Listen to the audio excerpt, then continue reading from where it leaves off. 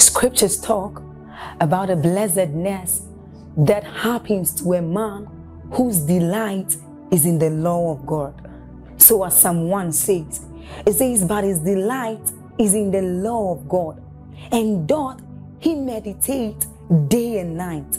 He says that that man is like a tree planted by the rivers of water, whose leaves do not wither, and who bears fruit in every season.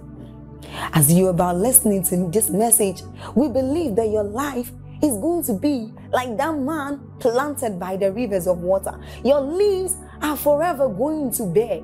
And we know that your, your season will not pass by. You will forever shine and you will forever bear fruit. We have a lot of content to share with you. So we would entreat you to subscribe to this channel as well as like us hit that notification bell to receive more updates from us because we know that whatever content here is going to set you on course at every time. It's going to make you attain whatever stature that Christ wants you to attain. Thank you.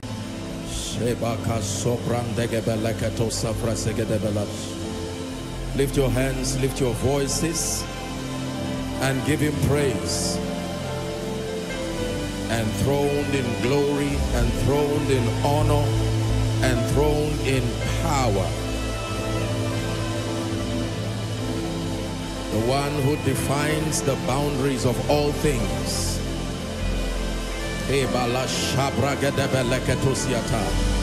Without him was not anything made that was made. In him was life, and that life was the light of men. Blessings and honor, glory and power be ascribed unto you, ancient King. Someone bless his name.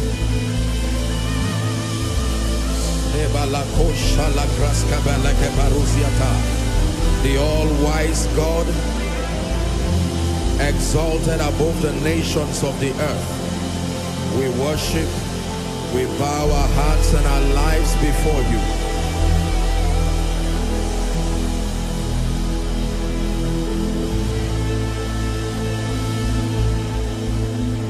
For in Jesus' matchless name we have prayed. Ask him for an encounter by his spirit. Give me a definite encounter. Go ahead and pray. Now the Lord is that spirit, the Bible says. And where the spirit of the Lord is, there is liberty. Who shall ascend to the hill of the Lord and who shall stand in his holy place? He that has clean hands and a pure heart, who has not lifted up his soul unto vanity nor sworn deceitfully. Bible says he shall receive a blessing from the Lord, righteousness from the God of his salvation. This is the generation of them that seek thee, that seek thy face, O Jacob.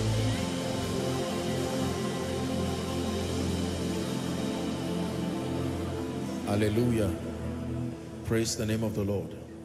The Bible says, call unto me and I will answer. I will show you, not just tell you. I will show you great and mighty things which thou knowest not. Hallelujah. There is a realm of knowledge that starts by admitting your limitation.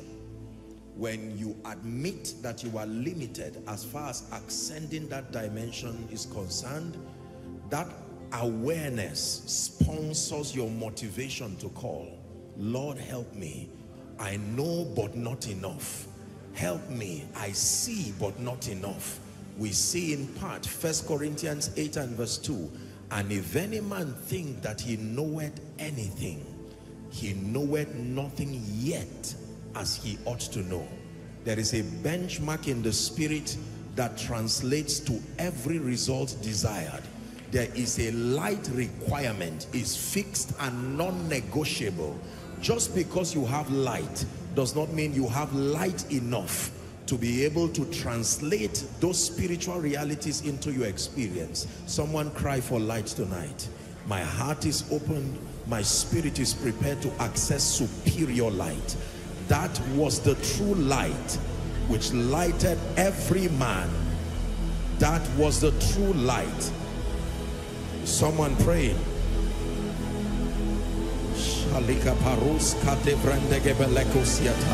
Light from heaven.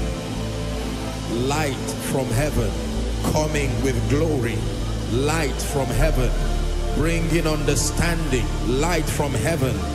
Allowing for ascendance in the spirit. Light. Even among the stars, he said, one different from another in glory. In glory maybe not in size, but in glory. That among the stars, one different from another in glory. Hallelujah. Praise the name of the Lord.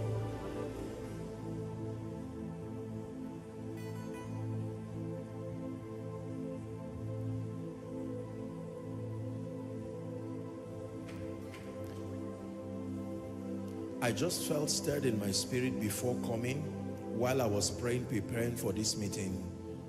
I started sensing a very strong manifestation of the healing anointing. And I know that the miracle service is next week.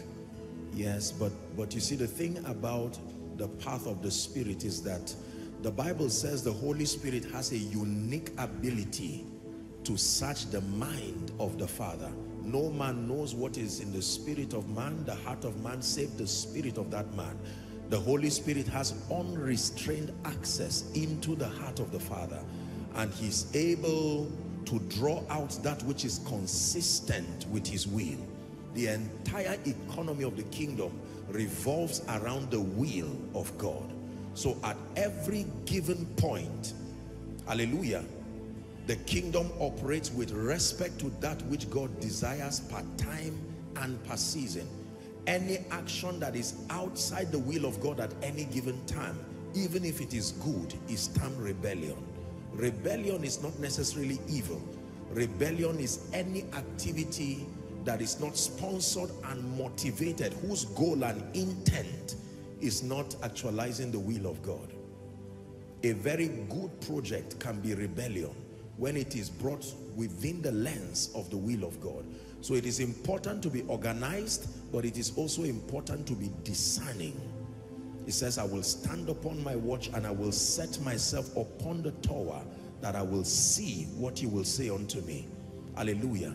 Let me just speak a word over those who are trusting God for healing. I've explained to you the necessity of the healing ministry. The healing anointing is a unique engracing of God to the body because according to the dealings of God with man as revealed in scripture, every man is only given the privilege of one body per lifetime. Please listen. You are only given the privilege of your spirit being hosted in one body. And what you call lifetime is the moment from birth until the day you are done with your assignment and you transit in glory or until the day your body deteriorates to the extent to which it no longer can host your spirit there is a health requirement for your spirit to remain in your body.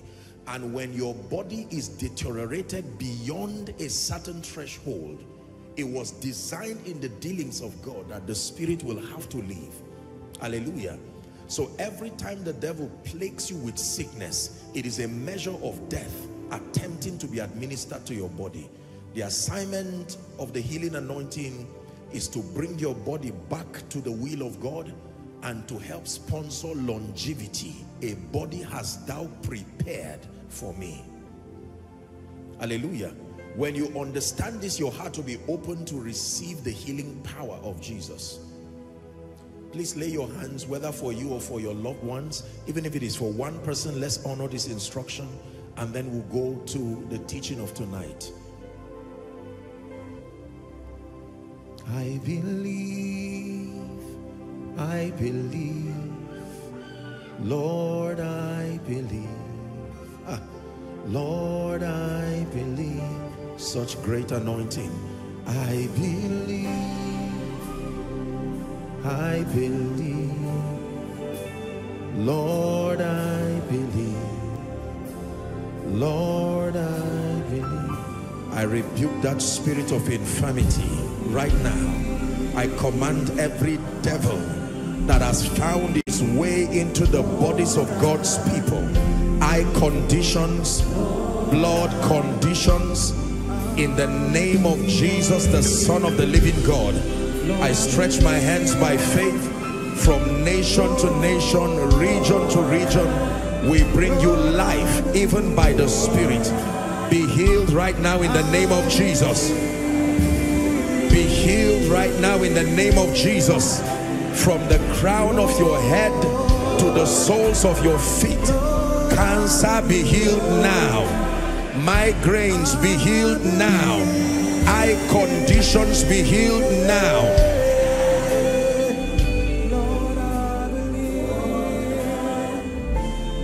blood conditions be healed now.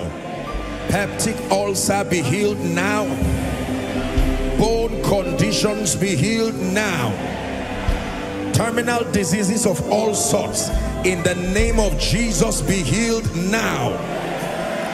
And we pray for those who are lying down upon the bed, the bed of affliction. May the same power that raised Christ from the dead translated him from Hades and brought him back to the earth. I declare that same power will take you from the bed of affliction and keep you standing on your feet now. In the name of Jesus Christ. And everyone who came here with any kind of discomfort, by whatever name it is called and identified in the name of Jesus I speak to you the resurrected king the one who has risen the resurrection and the life he ministers life to your body now quickening to your body now brand new organs by the spirit in the name of Jesus Christ thank you father for in Jesus' mighty and matchless name we have prayed. Please be seated. Good evening. God bless you. You're welcome to church. This is the house of God and it is always a profound honor to serve God's people with the truth of his word because um, I've always said that the church is a very potent force as far as societal transformation is concerned. Hallelujah. The church has a unique convergence of people that represent all walks of life. Hallelujah. The legal practitioner has no business administering medical solutions to a sick patient because they are confined, they are limited to the judiciary. A doctor has no business standing to do a judicial work, for instance. So all other fields are limited and they are mandated by the laws that govern their profession to remain and restrict themselves within the jurisdiction of their practice.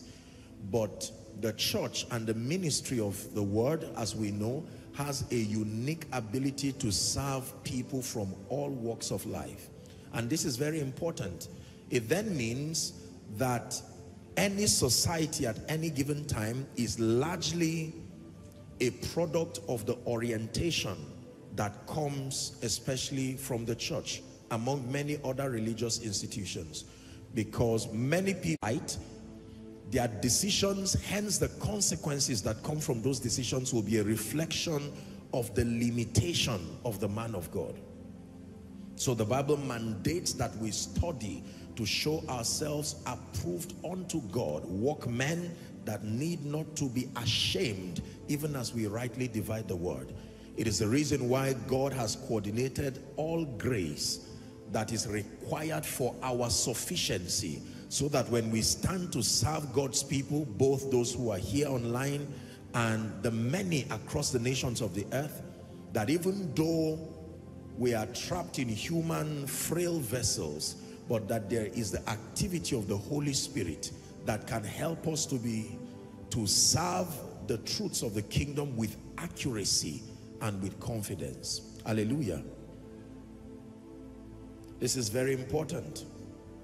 I take my job as a man of God very seriously because I understand not only am I accountable unto God, but when God gives you the gift of influence, influence, I told you, is a very delicate product. With it, you can destroy, and with it, you can build. Hallelujah. Yes. So when people become obedient to the faith and loyal to that which God communicates through you, you must ensure that you are serving the people truths indeed, life applicable, destiny changing truths. Hallelujah. And I can assure you by God that there is no week you will come here and then leave with your time being wasted.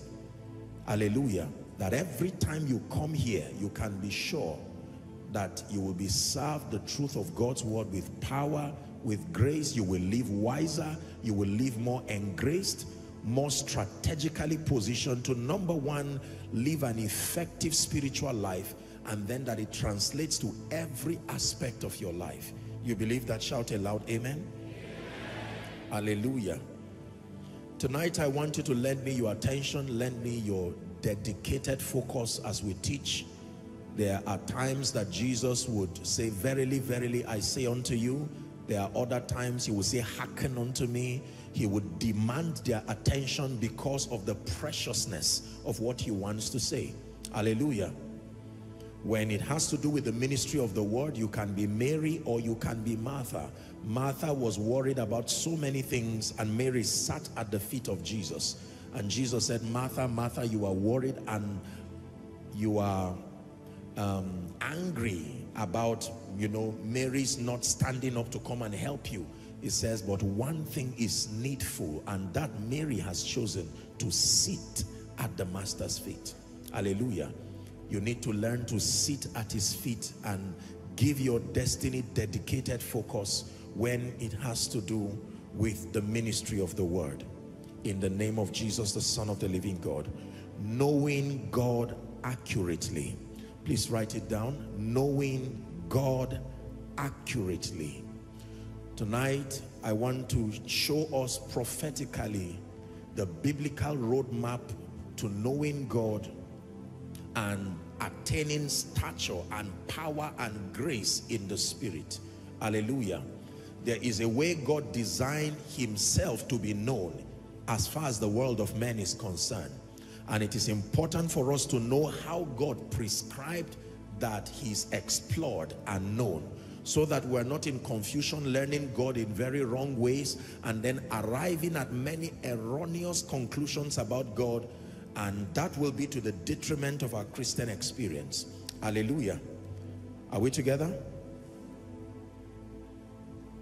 Now, generally speaking, the Bible lets us know that when it has to do with reigning in life, reigning upon the earth, the Bible says that the requirement is number one, that you must become a graceful recipient of the gift of righteousness and then number two abundance of grace. The bible says that they who have received the abundance of grace and the gift of righteousness he leaves them with an assurance that they are the kinds of believers who will reign in life. Abundance of grace and then the gift of righteousness romans 5 17 that if by one man's offense death reigned by one much more they which receive the abundance of grace and the gift of righteousness. The gift of righteousness only comes through jesus christ believing in his substitutionary sacrifice hallelujah and then the bible says that when it has to do with dominion upon the earth you do not just need grace, you need abundance of grace. It's important that you have that at the back of your mind. And then of course you know that the Bible says grace and peace. This same grace that the Bible says we need a lavish proportion of. It says grace and peace is multiplied through knowledge. Hallelujah. So there is a connection between the abundance of grace and the abundance of knowledge that grace and peace second peter 1 from verse 2 is multiplied through knowledge everybody say knowledge in this case the knowledge of god and of our Lord Jesus Christ. Please take note. The knowledge of God. There are many things that do not minister grace, even though they are knowledge. There is an exact body of truth that translates to grace. The Bible says grace and peace, please keep that scripture, is not just multiplied through the knowledge of many good things. It has to be the knowledge of God and of our Lord Jesus Christ. Hallelujah. So there are many kinds of knowledge that are not necessarily a waste. But when it has to do with accessing grace as designed in this kingdom, it is the knowledge of God and of our Lord Jesus Christ. That means the more you know God and his son Jesus Christ, the more indeed and in experience you will access grace. Hallelujah. This is very important. John 17 and verse 3 the Bible says, and this is eternal life. Jesus is praying that they may know thee, the only true God, and Jesus whom thou hast sent. The experience of eternal life, the activation of the full potential of that which is captured in the Zoe life is dependent on the knowledge of the true God and Jesus whom he has sent. This is very important in this kingdom, knowledge is essential as far as walking in dominion and walking in victory is concerned. No matter how well intentioned you are, if and when you decide to dwell in ignorance, there is no hope for walking in the reality of the life of God. Hallelujah. It's important for us to understand this. Now, Matthew chapter 16, let's begin with a very interesting discussion between Jesus and the disciples from verse 13. It wasn't unusual for Jesus to probe the disciples' understanding by asking them questions and he would leave them to just argue among themselves and then eventually he would clarify. This was one of such moments. When Jesus came to the coast of Caesarea Philippi, the Bible says he asked the disciples saying, Who do men say that I, the Son of Man, am. Hallelujah. Isn't it interesting? You would think he already answered his question because he called himself the Son of Man. You would think that was the answer. Who do men say that I, the Son of Man, am? That means he was looking for something else. There was something he wanted them to understand. Verse 14. The Bible says, they said, some say you are John the Baptist. Hmm. Some say you are Elias, Elijah now. And others say you are Jeremiah. And some are even confused. They don't know. They just said you are one of the prophets. So Jesus is asking a question here. Who do men say that I am. In other words, I want to buy from the perspective of society. What do they think of me? When they see me work miracles, when they see me multiply bread, when they see me teach and communicate doctrine with power, what is their conclusion about my person? And the disciples said, this is a very good question because we've also been asking, some say you are John the Baptist because at that time, John had been beheaded. Are we together now? So probably they think you are an incarnate, maybe you came again, you know, and so on and so forth. Others, you know, because they know again that there is a spiritual protocol they have been taught that men can come in the spirit and power of certain graces and certain mantles and they believe that you are one of those prophets and others believe you are Jeremiah. And Jesus now said, okay, you've walked with me. You have enjoyed the privilege of intimacy. You are closer to me than those who are afar. It says, but whom say ye that I am? Very important question. We're stopping at 15. But whom say ye? In other words, I'm interested in you. Show me the advantage that your intimacy with me has done as far as redefining my person to you. Now you have an advantage that they do not have. They are speaking as people who are from afar. So we can permit and forgive them because they are speaking from the lens of their ignorance alongside the distance in relationship. But now you have had the privilege to be mentored directly by me. What is your conclusion in light of the advantage of intimacy? And the disciples were surprised that even though they enjoyed access and they enjoyed intimacy, the truth is that they did not know him. The same experience of those from afar was their experience even though they were close. And it was only Peter speaking by the Spirit. He never said, we know. He said, I know whom thou art. Thou art Christ, the Son of the living God. He never called him Jesus.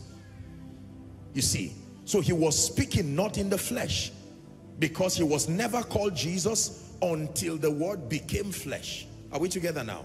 Yes. He never called him Jesus. Thou art Christ, the Son of the living God.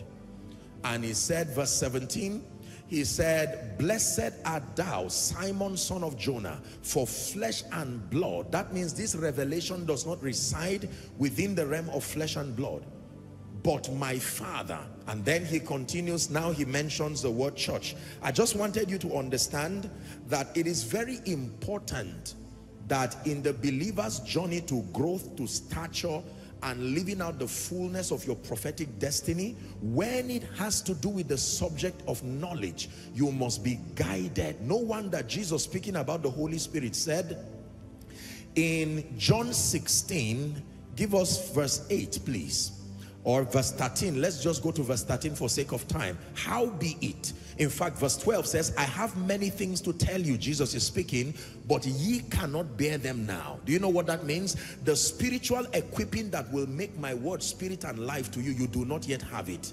Are we together? Yes. I have stretched your ability to receive without the assistance of the holy spirit. I cannot go further if you must understand anything from this point there is the activity of regeneration and the infilling of the spirit that must happen the other things I have taught you is what Paul brought in the Pauline epistle. There was no way they would have understood the dynamics of redemption and how to live the victorious life in that state. They had to be translated and God raised Paul to be a continuation of those things that Jesus told them you cannot bear them now the teachings of Paul, even for Peter and the disciples, though mentored by Jesus, they acknowledged that these sayings were hard. So it would have sounded like nonsense if Jesus tried to say it. Are we together now? Yes. But knowledge is very important in this kingdom. Now, I have taught you and I want you to please listen. I repeat myself many times for the sake of emphasis. There are six dimensions of knowledge the believer must pursue six dimensions of spiritual knowledge. If you want to understand the scope of not just knowing God, there are many kinds of knowledge that are useful. Some are supportive knowledge. Please listen before you write. There are two levels of knowledge generally for the believer. There is what we call foundational knowledge and there is what we call supportive knowledge. Supportive knowledge means when the foundation is there, they come as an added advantage to sponsor your stability. Are we together? If you do not have a foundational knowledge, no matter what you get as supportive knowledge, your Christian experience will be lopsided. Let me give you six of them very quickly. Number one, according to scripture, especially the Pauline epistle, we are taught that these six foundational, I'm not just talking of doctrine like Hebrews 6, no. No, I'm not talking of foundational doctrine. I'm talking that in your pursuit of knowledge, that means if you see a believer now who is saved and tells you that I want, I want to act, to contend for spiritual knowledge. If you want to guide that person, at first you restrict that person's pursuing knowledge to these six dimensions. Are you ready? Number one, that you must know God and Jesus, his son. This, according to the Pauline epistle, is the correct protocol for approaching spiritual knowledge. You must know God and then Jesus, his son. Proverbs chapter 9 and verse 10. Please write it. We're walking this there's so much to cover. The fear of the Lord is the beginning of wisdom and the knowledge of the holy is understanding. That means at the point where you begin to pursue the knowledge of God, you are truly having spiritual understanding. Hallelujah. This is very, very important in first peter chapter i mean in um, daniel 11 32 popular scripture the b part says but the people that do know their god they shall be strong and they shall do exploits. There is an advantage to knowing god. I like ephesians 1 15 to 19 this is paul again. This is our paul again mentoring the church in Ephesus. Wherefore I also, after I heard of your faith in the Lord Jesus Christ and love unto all saints, verse 16, reading to 19, cease not to give thanks for you, making mention of you in my prayer. 17, that the God of our Lord Jesus Christ, the Father of glory, may give unto you, watch this now, the spirit of the spirit of wisdom and revelation in the knowledge of him not the knowledge of it, the knowledge of him. The eyes of your understanding, verse 18 says, being enlightened that you may know what is the hope of his calling and what is the riches of the glory of his inheritance in the saints and what is the exceeding greatness of his power to us word who believe according to the working of his mighty power. So six dimensions of knowledge when you want to pursue genuine spiritual growth and maturity. You must know God and Jesus Christ his son. Number two, you must know yourself in light of who Christ is. You must know yourself in light of who Christ is. Psalm 49 and 20. Very powerful scripture. The Bible says, man that is in honor and understandeth not is like a beast that perisheth. Hallelujah. Second only to knowing God, it is important that in pursuing growth and maturity as revealed by scripture, you must know yourself in light of who God is. Hallelujah. In First Peter chapter 2 and verse 9, very powerful scripture, it tells us that we are a chosen generation a royal priesthood and holy nation, a peculiar people that we should show forth the praises of him that has called us out of darkness and into his marvelous light. Hallelujah. When you read Ephesians chapter 2 from verse 1 to 6, just write for sake of um, um, for sake of time, Paul took out time there to begin to give us a very theological background as to the implication. I have taught you here that from a theological standpoint, every time you discuss man with respect to what Christ has done, there are only two things that become the basis of your discussion. Number one is our oneness with Christ, the implication of our oneness. And number two, our positional advantage. Are we together now? On account of the substitutionary sacrifice of Jesus Christ, man has been brought into oneness. The Bible says, he that is joined to Christ is one spirit. And then Paul helped us to understand our positional advantage. That that word together or together with Christ is a very profound prophetic description of the believer's position now in light of what has happened. So you need to know who you are in light of who Christ is. Number three, you need to know your place in destiny and in God's prophetic program. I have taught you this. It's very important. You need to know your place. Your relevance is in your ability to keep and maintain your position. The provisions that are accorded your life are with respect to knowing your place. It's very important. You must know your place in God's program, you must know your place in destiny. Luke 4, 16 and 17, Jesus in the temple, reading the messianic prophecy that was about him. The Bible says he found where it was written concerning him. And then at the end of that rendition, he said, today is this scripture fulfilled in your ears. Hebrews 10 and 7 says, Lo, I come in the volume of the book as it is written of me to do thy will, O God. Hallelujah.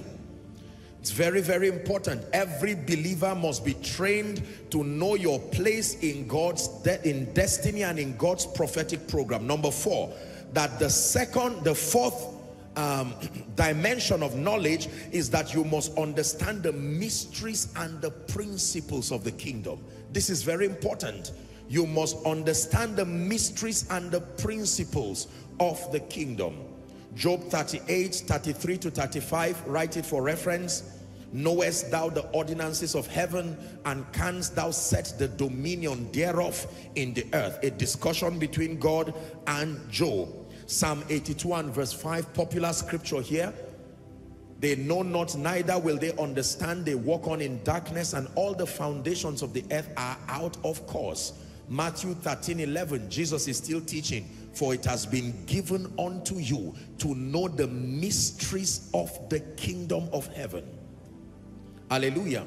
The kingdom operates using a modus operandi. There is a pattern, there is a principle. And every time you want to see the glory of God revealed, there is um, a mandate upon you that you must know the ways of God. Number five, what is the fifth dimension of knowledge? If you must press into an excelling spiritual life, you must understand man as the highest of God's creation and then you must understand the world system, the cosmos. It is not enough to understand the principles of the kingdom, you must understand man as the zenith, the highest of God's creation, and then you must understand the cosmos. This is important. When we discussed this, we considered Psalm 8 from verse 1 to 6, remember? Psalm 8, 1 to 6. Oh Lord our God, how excellent is your name. He says all of that when I consider the works of your hands and all of that. When we get to verse 5, he now says, what is man? Or verse 4, what is man that thou art mindful of him, not the son of man that thou visitest him. I hope we're still together. I'm showing you that if you want to explore your spiritual growth, it is important that you follow this sequence. Otherwise, something will be lopsided as far as your spiritual understanding is concerned. You must know man because this is the world of men. Psalm 115 verse 16. The Bible says the heaven of heavens belong to the Lord, but the earth has he given to the children of men. If you must excel in the cosmos, you need to understand the world of men. Hallelujah. In fact, in Matthew 10, 16, I believe, Jesus was teaching them. And you notice when Jesus began to teach, if you study the Beatitudes theologically, Jesus began to teach them relating the kingdom with and contrasting it with the cosmos. There were times where he would teach them things that were largely eternal and spiritual, but in many instances, he would now delve to help them understand the cosmos. This was one of such discussions. Behold, I send you forth as sheep in the midst of wolves. He says, be ye therefore wise as serpents. All through scripture, a serpent has always been associated with evil, Satan, the devil. Are we together now? And here Jesus is saying that you need to borrow the wisdom of the serpent and the character of the dove if you must excel in the cosmos. Very strange teaching. For the simple information that you are a sheep in the midst of wolves, he says there are two dimensions of wisdom and approach you must have. You need to be as wise as a serpent and you need to be as harmless as a dove. And the only place in scripture where you learn the wisdom of the serpent is Egypt. You will have to go to Egypt to learn the wisdom of the serpent. Hallelujah. Hmm.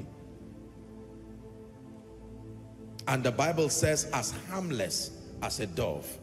So number six, very quickly, what is the final dimension of knowledge that the believer must have? You must know your adversary, the devil. I'm doing a recap for those of us who have been following the series, but this is important. I need to say this so you understand what I'm explaining today. You must know your adversary, the devil. The devil is not your friend. No, sir. The devil is not a confidant. The Bible calls him the thief. John 10, 10. The thief a description that Jesus himself gave. Many bad names Satan is called. He's called a murderer. He's called an accuser of the brethren. He's called a thief in this case that he comes except, he does not come except to steal, to kill, and to destroy. First Peter chapter 5, Apostle Peter was teaching us in verse 8 and 9. He says, be sober. First Peter 5, 8 and 9 be sober, be vigilant, he says, because your adversary, the devil, as a roaring lion, walketh about, seeking whom he may devour. Verse 9, he says, whom resist, steadfast in the faith. Whom resist, it is within your power. Let me tell you this, no matter what you know, as far as spiritual information is concerned, if you do not understand Satan and the dark world, the demonic kingdom, you will be incapacitated in ways you cannot imagine. Are we together now?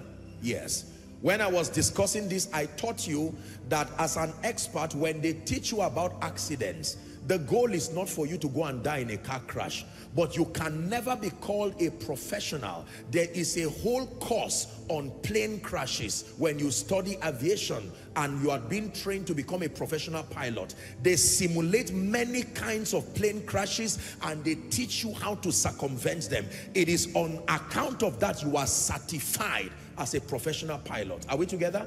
There are many believers in an attempt to remain positive have ignored the reality of the dark world. Jesus himself revealed many aspects of Satan. It was Jesus. In fact, our understanding about the operation of Jesus as far as the gospel, uh, uh operation of Satan, as far as the gospel is concerned, was revealed by Jesus himself.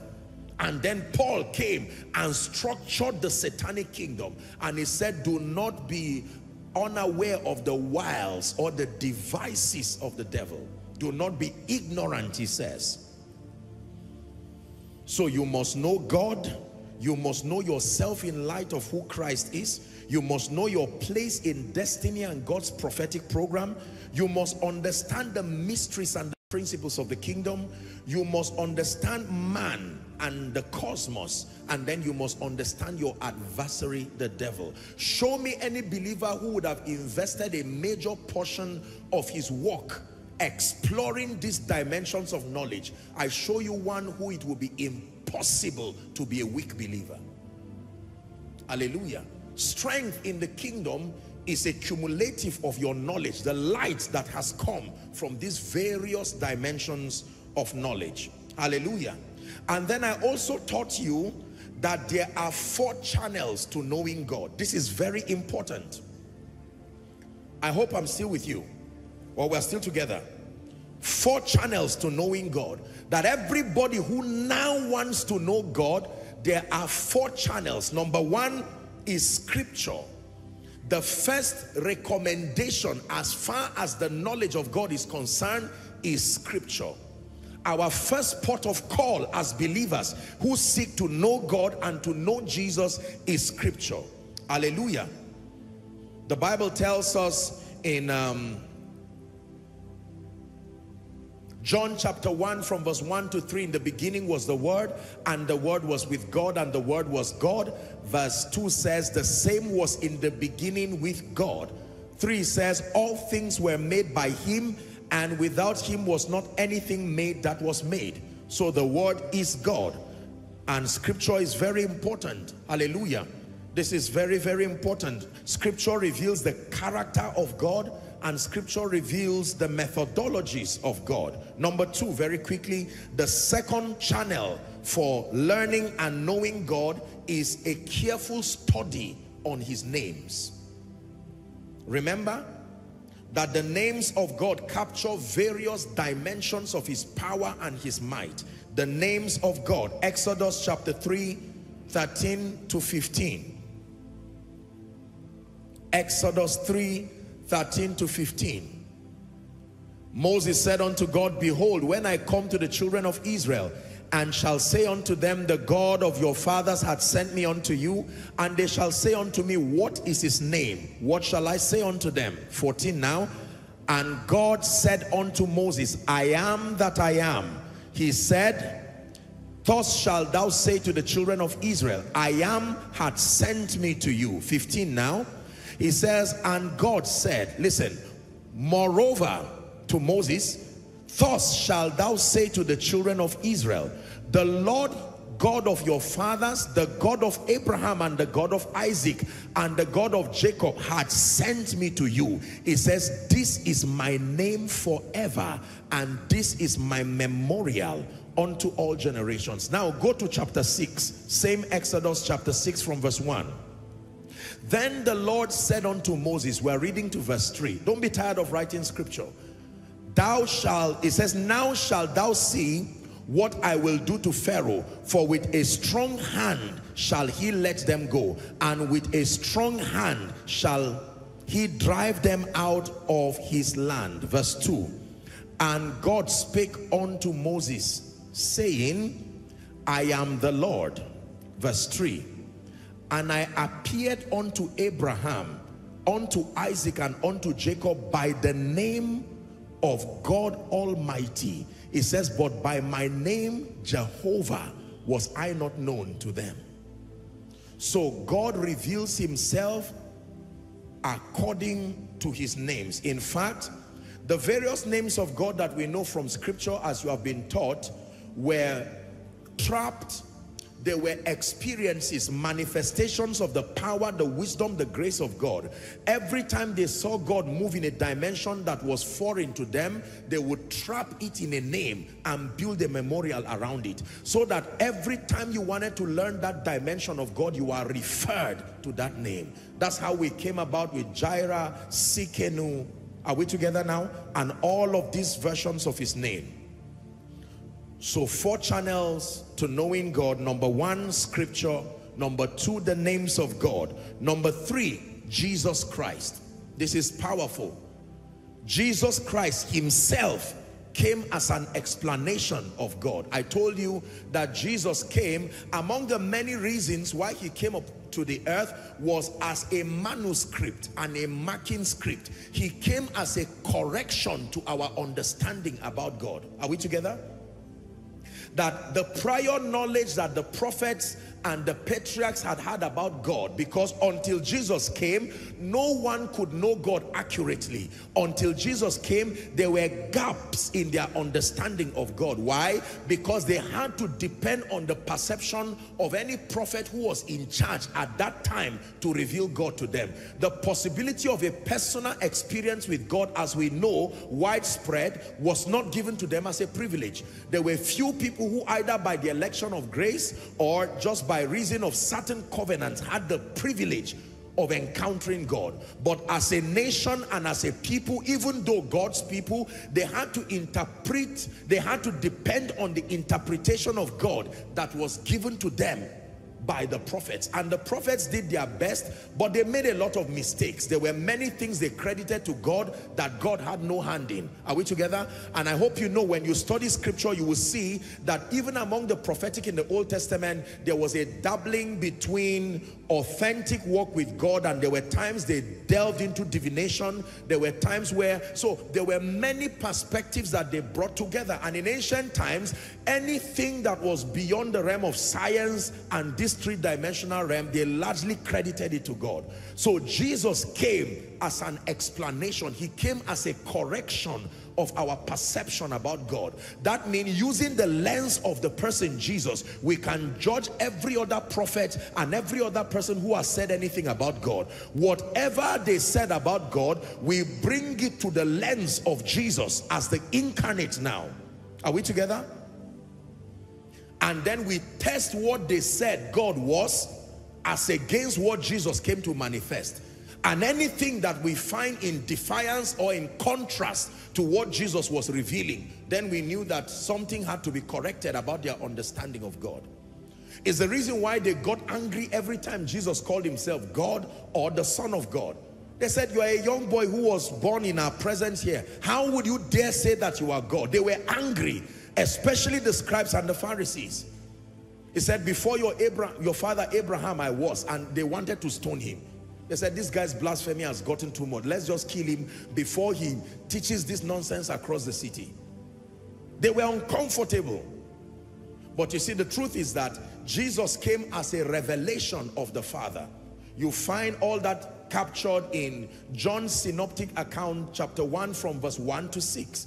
The Bible says the word became flesh and then he dwelt among us and we beheld his glory even as of the only begotten of the father full of grace and truth. So he was the word incarnate. He walked upon the earth. Hebrews chapter 1 god who in sundry times and diverse manners spake to us in time past through the prophets hath in these last days verse 2 spoken to us through his son whom he had appointed heir of all things by whom also he had made the worlds. Verse 3 now, the Bible says, who being the brightness of his glory and the express image of his person. So Jesus came as the express image of the Father.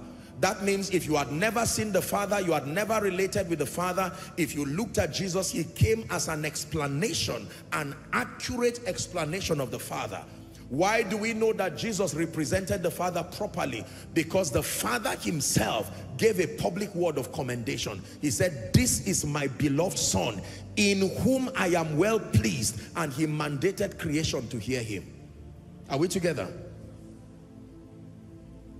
So we learn God as we study Jesus. Finally, the fourth channel for learning and knowing God is through experience.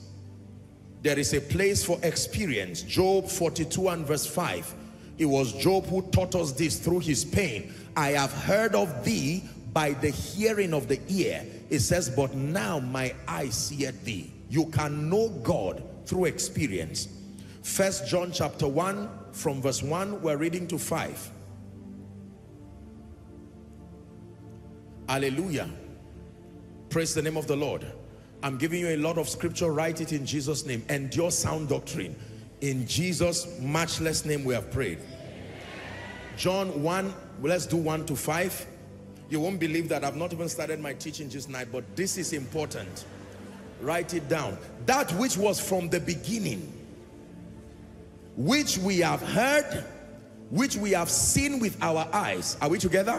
Which we have looked upon and our hands have handled of the word of life. Verse 2. For the life was manifested and we have seen it. These were eyewitnesses and bear witness and show unto you that eternal life which was with the Father and was manifest unto us. Verse 3.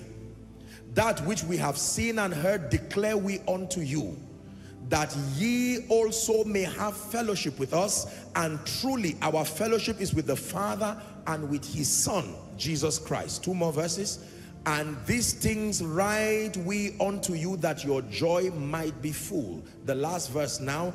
This then is the message, he says, which we have heard of him and declare unto you that God is light and in him there is no darkness. Apostle John is saying, listen, we were eyewitnesses. We walked with Jesus we sat with him. He taught us we were direct products of his mentorship. And so when we teach you you must be able to believe. Believe that we're not just teaching you cunningly devised fables. You can know god through experience. Hallelujah. Are we still together? Let's pray in the spirit for one minute. Jesus. Silakapo sabranda kabalako siata Thank you for understanding.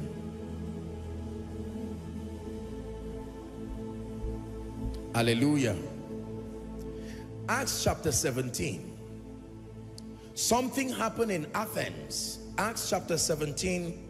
Let's begin our reading from verse 16 to 17. Then we'll jump to 22 to 24. Now watch this. The Bible says, while Paul waited for them at Athens, his spirit was stirred in him when he saw the city wholly given to idolatry. This was Paul the apostle. He entered into Athens and he saw that the people were given to idolatry. Verse 17. Therefore disputed he in the synagogue with the Jews and with the devout persons and in the market daily with them that met him. He kept arguing and saying, listen, something is wrong. You people are zealous people, but this is idolatry. Jump to verse 22. The Bible says, Then Paul stood in the midst of the Mars hill and said, Ye men of Athens, I perceive that in all things ye are too superstitious. Verse 3, 23 now.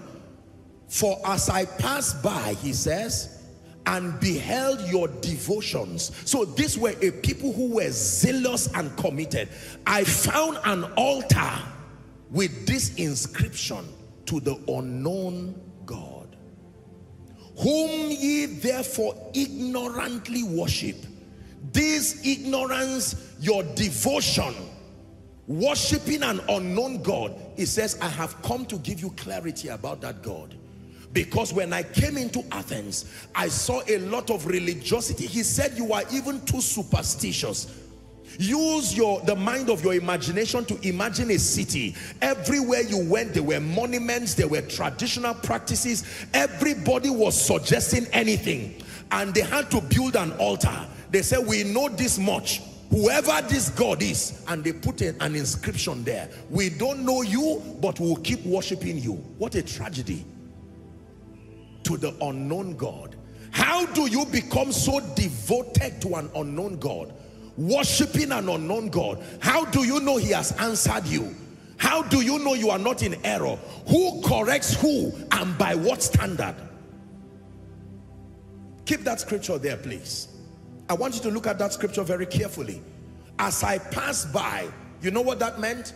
Paul, I like Paul. Paul just kept going around Athens from one region to the other and he said everybody was bowing down worshiping others had a set of knowledge there were ideas people were mentoring others and yet there was widespread ignorance in Athens and Paul said you even built an altar and you openly wrote an inscription on it to the unknown God. In other words, we are so devoted, we love this God and we wish we could know him. But since he has chosen not to reveal himself to us, our devotion continues even in ignorance. Does that sound like a generation? Does that sound like an individual? If a whole territory can worship an unknown God, there are many people today who have died to an unknown God. There are many people today who have argued about an un unknown God. There are many people today, respectfully speaking, preaching about an unknown God, advocating, doing an evan doing evangelism to an unknown God, bringing seeds, tithing, giving to an unknown God. And Paul said, I have come to declare him to you. Let's look at verse 24. It says, God that made the world and all things therein, seeing that he is Lord of heaven and earth, dwelleth not in temples made with hands. And when you begin to read, he started explaining to them. Now he was bringing perspective to this unknown God. Please look up. Do you know, ladies and gentlemen, that what happened in Athens is still true in many, many lives today? There are many people who have written songs to an unknown God received all kinds of pain to an unknown God, serving in a church that they believe is owned by an unknown God, writing books dedicated to an unknown God. This is from a standpoint of love. I hope you understand me. The goal is to give us perspective. Is it not amazing the zeal of the average Christian in Africa? Africa is about one of the most religious continents, passionate people, I mean, you, is it spiritual exercises of widespread fasting? Is it spiritual exercise of honor to spiritual authorities? I mean, you find the church of the Lord Jesus Christ in many regards in Africa, you find it down Middle East. There is devotion in a way. If you've had the privilege of traveling across the globe, even whether it is in your mind or physically, it will still achieve the same result. Are we together? And you see the kind of devotion there are priests across the globe in the Christendom, in every other religious expression. You will see the sacrifices, consecrations, fastings, abstinence, devotion, and you are wondering, this widespread devotion, there are parents who have quarreled their children, behave well, God is not happy with you. The question is which God? How about we servants of the Lord Jesus Christ? We have taught series and series about God. We have spoken about heaven. We have cried on crusade grounds, beckoning on thousands, praying for millions to come to this God. And they respond faithfully. Then they walk up to us and then we lead them. We say, say after me, God or dear Lord Jesus. And at the end of it, respectfully speaking, Largely, both the preacher and the new convert are not even aware of who they are talking to. Alleluia! Hallelujah.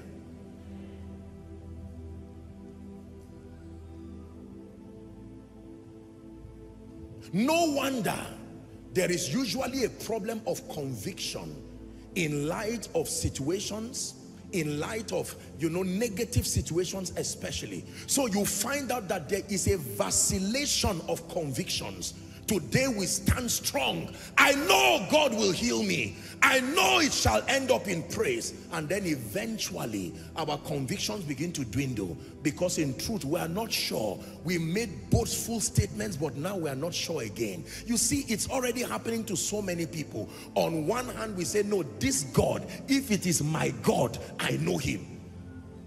I know he will come through for this family. I know he can't leave me down. And then eventually we begin to negotiate so many things and say, I, I don't even know again. God, is it your will? There are many people angry with God today because they were taught to believe in an unknown God and they believed in that unknown God and many things that they believed he would do were not done and in anger now there are many, many people who do not even want the mention of church do not want the mention of anything. They say, God has failed me. I have a plethora of failure. There's too much failure in my life. What kind of a God is this? I read in the Bible that he's almighty. I read in the Bible that he's all powerful. I read in the Bible that the cattle on a thousand hill belongs to him. And here am I serving God, loving him in church. And then it looks like he does not want to attend to me. Do you know, respectfully speaking, sometimes people send me text messages and I know they are doing it sincerely. They say, Apostle, since God has not had me, this is my prayer request. Help me and tell him that we need. Yes, sir. And now you don't laugh at them. At least I admit my ignorance that I don't know him. You who claims to know him, please help me. The most important thing is his ears. Not who is talking. Let him just be aware that there are needs in my life like this. As simple as this message is, ladies and gentlemen, what I'm about to share with you will bring you liberation. There is something, if you do not know God in truth, your life and your Christian experience will be full of assumption and gaps. You will keep being promoted ministerially until the day you hit a wall and all those who are following you will, which God exactly are we worshiping? And then I hope you know, last I checked, I hope my facts are still right. There are about 4,000 religions and growing. And many of them are becoming similar now because they are pseudo expressions of one another. So how do I know I am not in error? How do I know the God I'm serving is the God of the Bible? There are all kinds of arguments and debates about God. I like Paul. Paul is teaching us something today that he taught the believers in Athens. And so he gathered the people and said, there is need for a conference immediately. And he said, ladies and gentlemen, first, let me commend your zeal. I see that you are even so superstitious. Imagine that you went to Athens and you said, this God he wants you to give him money. And everybody will come and say, oh yeah, God, where are you? Another person will say, God does not need your money. Say, God, give me back my money. I was told that you are too rich Another person says, God wants you to fast and pray. Another person says, God is not interested in fasting and prayer. Another person says, God demands consecration and devotion, respectfully. And then another one says, it doesn't matter. So believers are now confused because remember, all of this is to please this God. And for many, he still remains an unknown God. Someone says, if you want him to bless you with increase, do this. Another person says, just believe him and give thanks. And many believers are saying, God, can you come and help us clear the air? Who is right and who? For God, we want to believe you sincerely, but who are you? No wonder Moses asked that question. He said, who will I go and tell Pharaoh now? I hope you know Moses was trained in Egypt. He was supposed to be the next Pharaoh. But he ran away. So he said, if I go and tell Pharaoh, God has sent me. Pharaoh said, dear preacher, I hope you know there are many gods in Egypt. Which of them now has sent you? And Moses said, before you send me, before I go and disgrace myself and cause pain to the people, please reveal yourself to me. Let my confidence be anchored upon the truth of the God I have met. And God said, I am that I am. Hmm, I am that I am. Ladies and gentlemen, every generation that had men and women who shook that generation, especially spiritually, their impact and their exploit was directly connected to their genuine encounters with God. Make reference to my teaching, the value of spiritual encounters. But it's important for you to understand this. Many people have not taken the time to know God. We can know about God, but the knowledge of God now, just as an example, if someone suddenly sent you a text now and says, Apostle is in US right now and is about to preach in a conference, because you know me and you know that except otherwise, every Sunday I am here, something about me with respect to my assignment will make you, it will not, it will not even be a prayer point. Are we together now? There is something about God when you know, even the prophetic will not threaten you again because you can judge it from the lens of your knowledge of God. There is something about God when you know fear dies immediately. Because there is something about God that if you do not understand, he will look like a killer who can destroy you. And then in another place, he looks like he's indefinitely merciful. And yet the Bible captures all these dimensions of him. As a lion and as a lamb, you still find it there. As a warrior, and as a merciful God, you still find it there. Are we together? There were people that God took things from and there were people God gave things to. So which, which God should I serve? The songs we sing, they all belong to you and even the air we breathe it all belongs to you. After singing that beautiful rendition and then an intelligent person will say but please my dear brother can you help me describe or explain for me this God you have served for 20 years? I'm listening. Talk to me. What are you going to say about him Oh, he's the creator of the heavens and the earth. I can tell you this God is mighty. And he says, no, that's not what I'm asking you. Who is he? If it is true that he wants to be known, if it is true that he wants to be served, if it is true that he has sent me, how do you represent a God you do not know? Now you say he has called you light. He's called you salt. He's an. You sent you as an ambassador. You even claim that he has sent you to your family like he sent Moses to Egypt. So you stand before the altars that have plagued your family for years. The herbalist knows who he's serving and he will tell you, I know him. We were introduced there. Now you have come and you want to dislodge this power. I don't argue, but who is this God? The prophets of Baal they got to a point where they knew Baal so much and the Bible says they called upon Baal and they were surprised. Probably for the first time in their prophetic journey Baal disappointed them. Baal we do not we didn't expect that you would disappoint us to a point that they lacerated themselves. Devotion to an unknown God. And Elijah said call him louder. You claim you know him. Let him come and defend his name and when it was time, Elijah said, now you watch the living God. He set up 12 stones. He said, pour water on it. This one is not experiment. There is something about God you must know.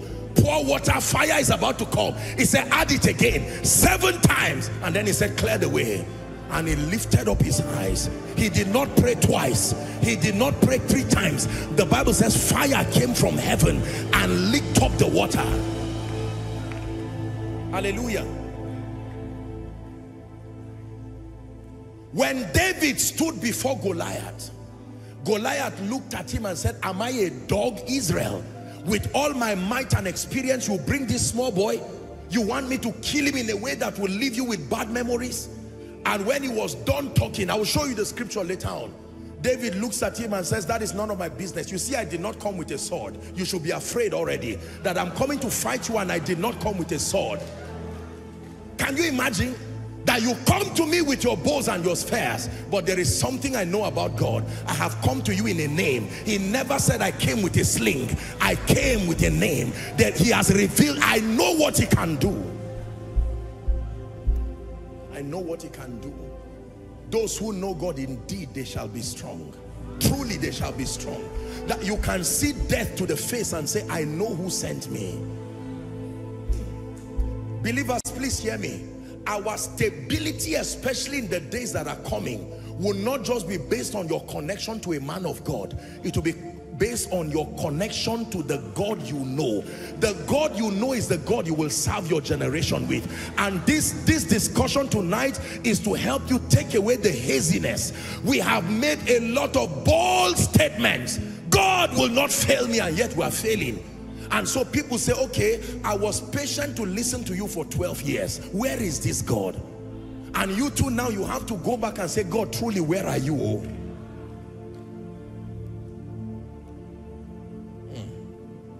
You can know God accurately. Let's discuss this God now.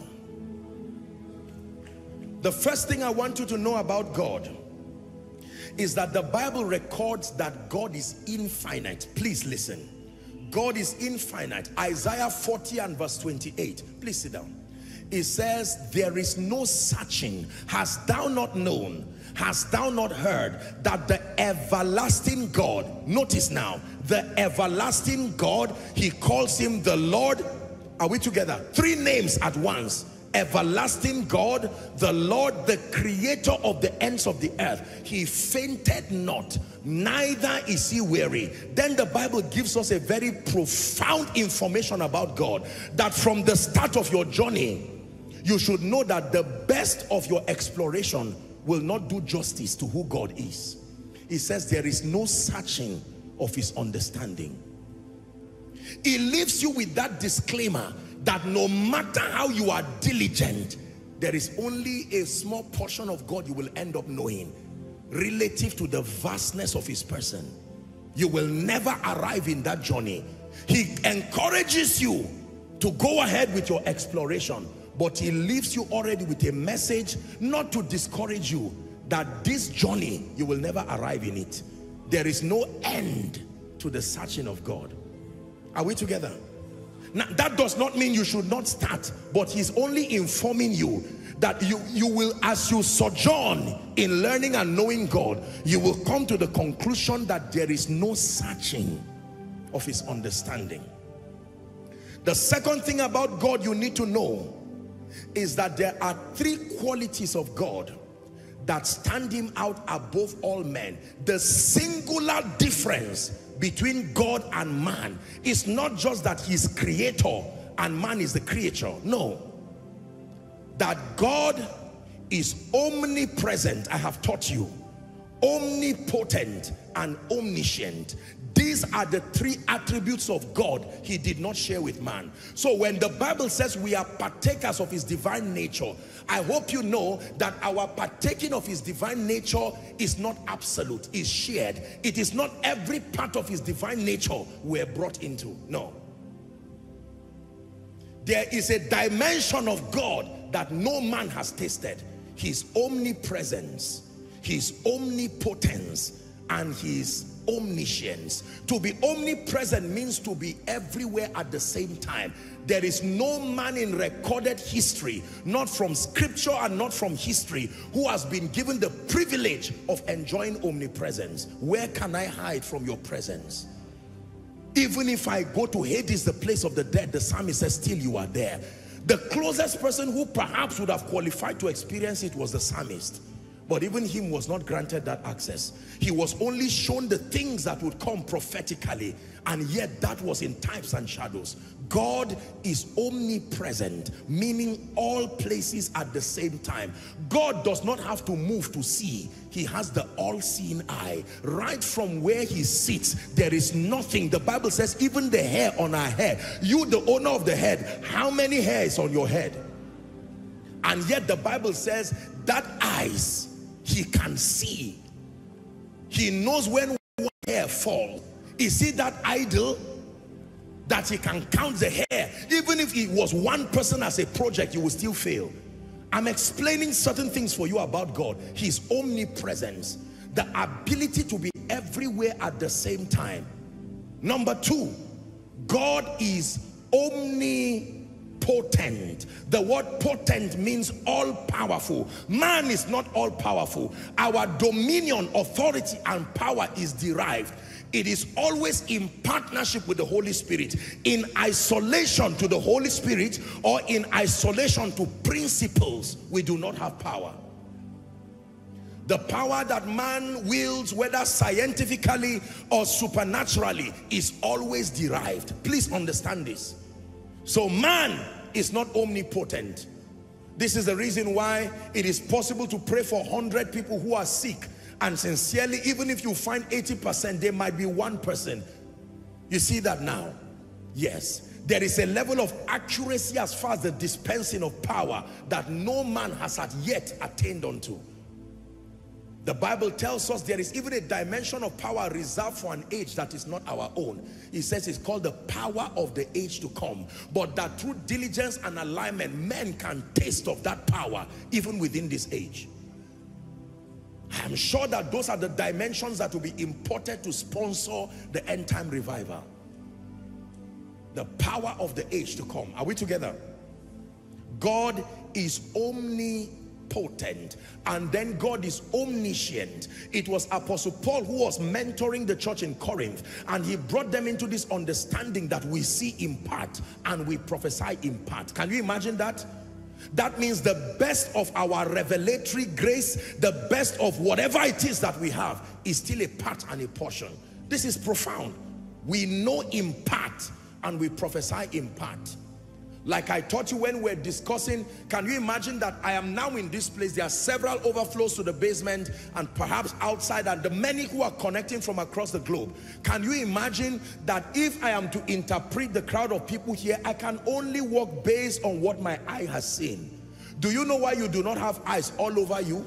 To remind you that you are finite finite in sight, finite in vision. You would think God would have put an eye like a crown all around you so that you don't have to turn to the back. But even at that, you will still be limited.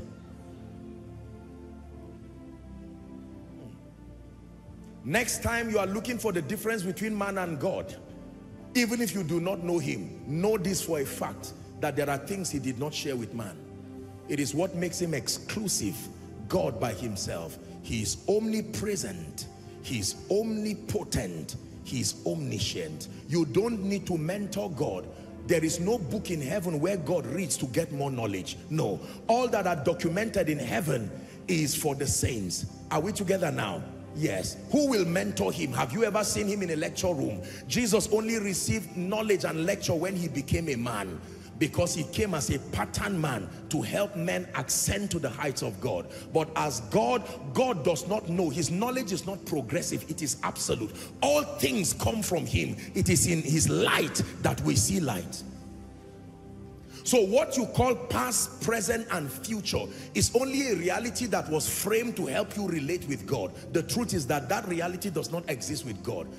God does not even dwell in the realm of eternity because eternity is still a function of time. It's just a summation of time without end. God lives beyond eternity. His realm is now. Hallelujah. All things are present before him. So what you call future and what you call yesterday, yesterday only left you. In God's mind, yesterday and tomorrow, his hands can reach into them. There is no difference. Technology has helped you to understand how God relates. You can rewind a movie. There's something called rewind. Is that true? There's something called fast forward. These are all agencies to help you manipulate time. So if you saw something and it skipped you, you can enjoy it and rewind it as many times. Unfortunately, that only happens with a movie, not your life. When it passes, it's gone. Only the God of heaven can reach back into time.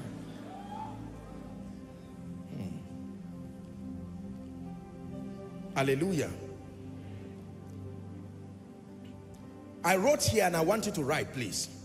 For our profiting and dominion here on earth, there are three aspects of God we must focus on.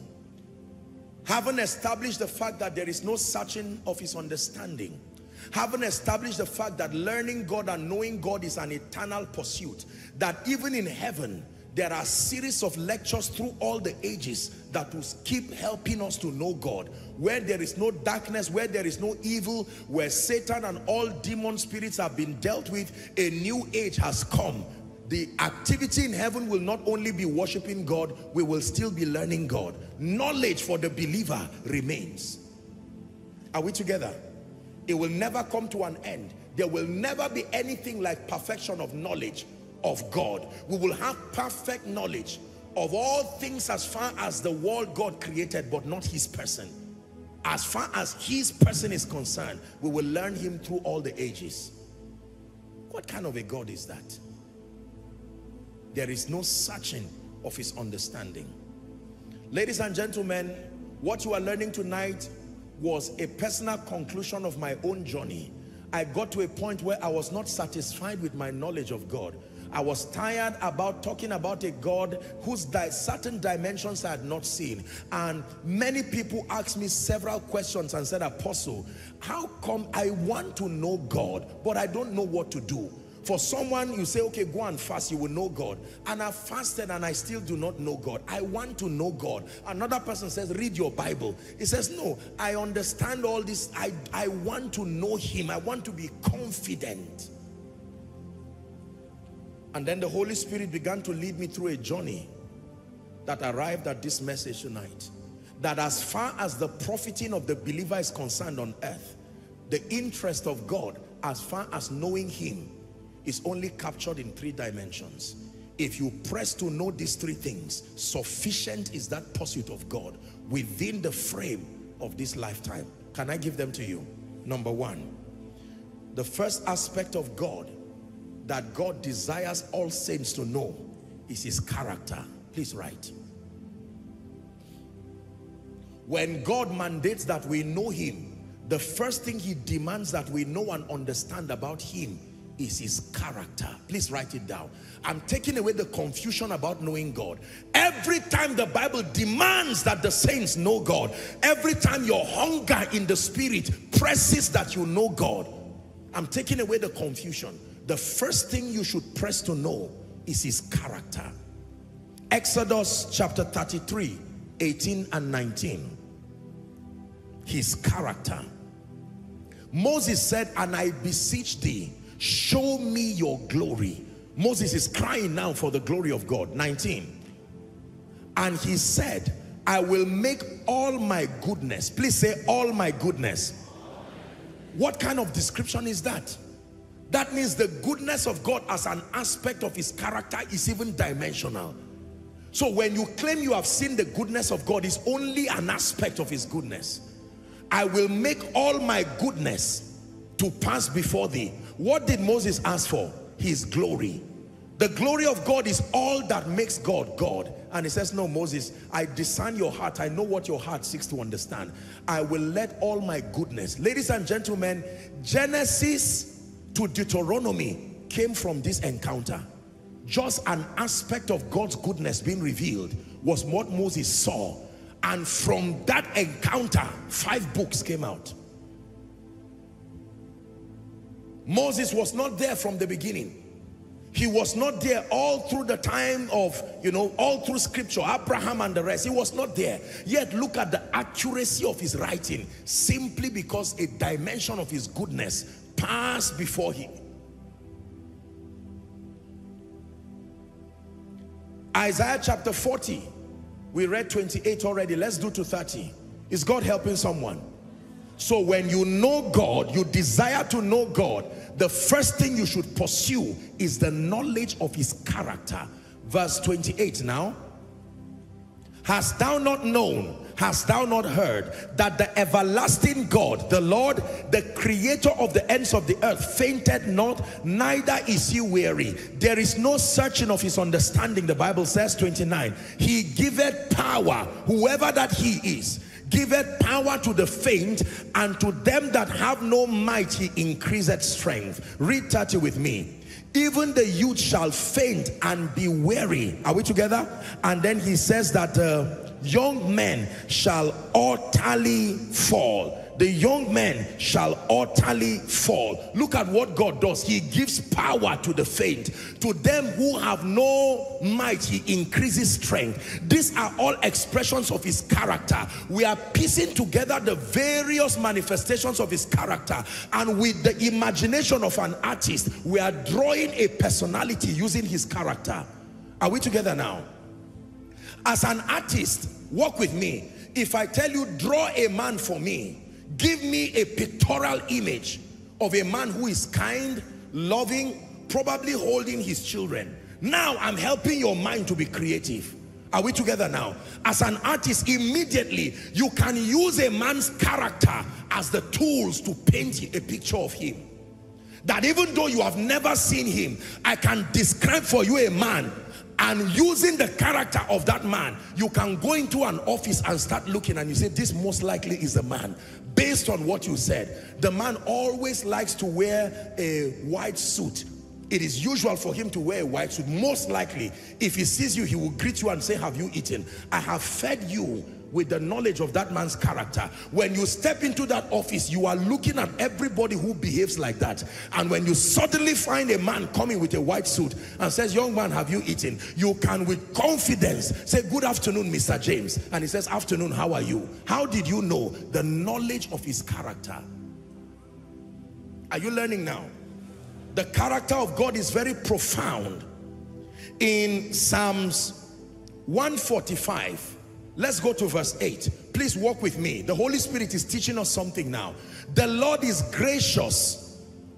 I'm showing you a concise display. You see why this psalmist guy was very powerful. I don't know what business he did with God, but this guy explored God. He, he was him. The Psalms gives us about the rich capture of the entire character of God. You really want to understand the character of God. In fact, even more than the Pauline epistles the psalmist. The Lord is gracious and full of compassion, slow to anger. You are describing God now and of great mercy. Start working with your imagination. This is the God you are called to serve. Verse 9. The Lord is good to all. Wow. And his tender mercies are over all his works. There is a dimension of God's compassion that everything he created must experience. No wonder even Satan has a length of time before his destruction. This is consistent with how God works. Meaning it is not usual for God to just judge and destroy people because he's angry. God always allows time for repentance. If you know this about God, certain dimensions of fear dies immediately. Verse 10. All thy works shall praise thee, O Lord, and the saints shall bless thee. Please be patient. Let's read. 11 now. Media, let's work together. They shall speak of the glory of thy kingdom and talk of your power. Verse 12. To make known to the sons of men his mighty act and the glorious majesty of his kingdom. Uh -huh.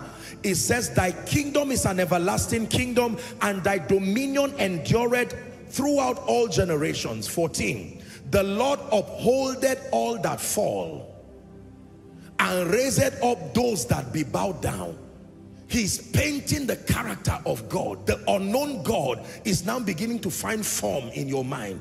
The unknown God is, is beginning to be described so that he's no longer, you are not building an altar, devotion and worship to an unknown God. Every time you say Father, your mind, your spirit is connecting to somebody. You have used his attributes to paint a picture that your mind can relate with. Let's finish that scripture. The eyes of all wait upon thee, and thou givest them their meat in due season. Thou openest thy hand and satisfiest the desire of every living thing. 17. The Lord is righteous in all his ways and holy in all his works. 18. The Lord is nigh unto them that call upon him this alone gives you confidence in prayer that it is inconsistent with his character to be far from you while you pray. That every time he hears prayer coming from a sincere believer, he is nigh them that call upon him and then to them that call upon him in truth. So if you are calling upon him and it looks like he's not hearing, verify truth in what you are doing. He will fulfill the desire of them that fear him and also will hear their cry and will save them. The last verse, the Bible says, the Lord preserveth all them that love him and all the wicked will he destroy. That means there is gain in loving God. The Bible says preservation is an advantage that is given those who love God. Hallelujah. Say his character. You want to know God accurately? The first port of call is to seek to know his character. To seek to know his character. Write for reference, we're not reading, but Psalm 103 from verse 1 to 22. But allow me read 1 to 5 with you. Psalms 103, 1 to 5. Hallelujah. We sing it as a beautiful hymn, unfortunately, still to an unknown God. Bless the Lord, he says, all my soul and all that is within me bless his holy name. Verse 2. Bless the Lord, O my soul, and forget not his benefits. Say benefits. That means God never calls the seed of Jacob to seek him in vain. Every time you keep seeking God, know that you are seeking him, number one, because you love him, but that he's benevolent enough to leave benefits. And there are five of them. Number one, the Bible says, verse 3 now, who forgiveth all thine iniquities. That is the first benefit. Number two, who healeth all thy diseases. Number three, who redeemed thy life from destruction.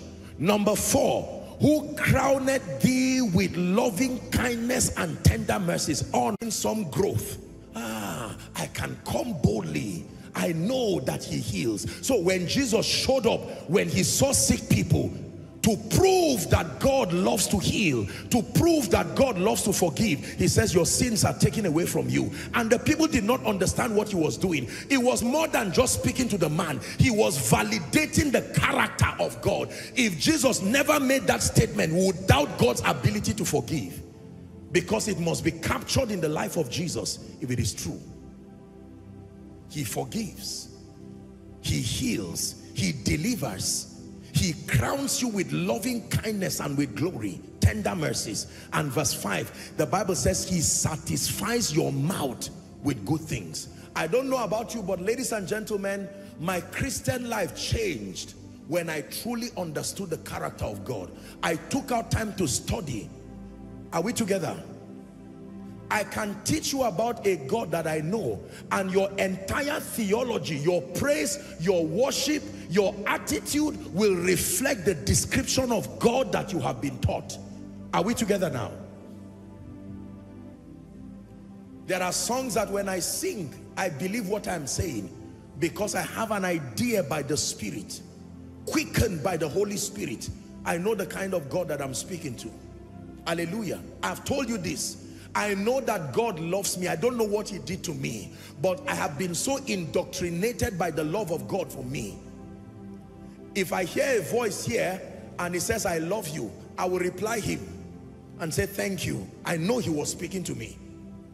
Even if it's not my name that is called. Are you that confident about the love of God? No wonder the apostle said the grace of our Lord Jesus Christ, the love of God and the fellowship of the Holy Spirit. Let that consciousness remain with you. Dear preacher, let me tell you, when you understand the character of God, there is no limit to what you can do. He, Jesus, representing God, said, I will never leave you. Is that true? He says that a comforter will come. I know that I am never alone. The character of God has given me confidence. When men say there is a casting down, I say there is a lifting up. God loves me. God loves me. I am not only a child of God, I am evolving in experience to becoming a friend of God. And most people have no idea that being a friend of God is a noble status. Not many people in scripture were ever called a friend of God because there is a friend that even sticks closer than a brother. Do you know what it means to be a friend of God? That means God takes away the restraint as far as showing you the mysteries and the secrets that are concerning your life and any territory. When you become a friend of God, it becomes impossible for God to visit a territory and not consult with you not because you are going to give him permission shall I hide this from my friend Abraham I am a friend of God. I am a friend of God. I am a friend of God. He calls me friend. I am a friend of God. I am a friend of God. I am a friend of God. He calls me friend. Hallelujah. If you have a vision about me today and you see me dying, and you say, Apostle, I saw an obituary, I saw you dying. Eh, it's not whether you are fake or real, no matter how real you are. I will love you and congratulate you and hug you and say, thank you for showing me this. But there is something I know about God. Hezekiah knew this about God. And even when a genuine prophet came and said, put your house in order, I'm sorry to tell you, you will not recover. He was only a messenger. The Bible never calls Isaiah a liar. Isaiah was a prophet with integrity. But Hezekiah said, I've listened to you. Go. And he turned his face to the wall. He says, God, remember, there is something I know about your character. Let me tell you this. Fear will give you heart attack and kill you for nothing except you know the character of God. Yea, though I walk through the valley of the shadow of death, I fear no evil, for thou, hold on, hold on, who is the thou? Omnipotent, omniscient, thou art with me. I have loved you with an everlasting love. I expect favor every day of my life. That is not the basis of my walking with God. But I know that there is no genuine love without giving. And since his love is eternal, his favor and his benefits must be eternal. They go hand in glove. This, I'm sharing with you my orientation about God.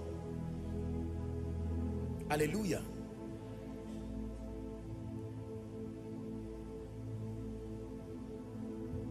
There are many of us who are still worshiping an unknown God.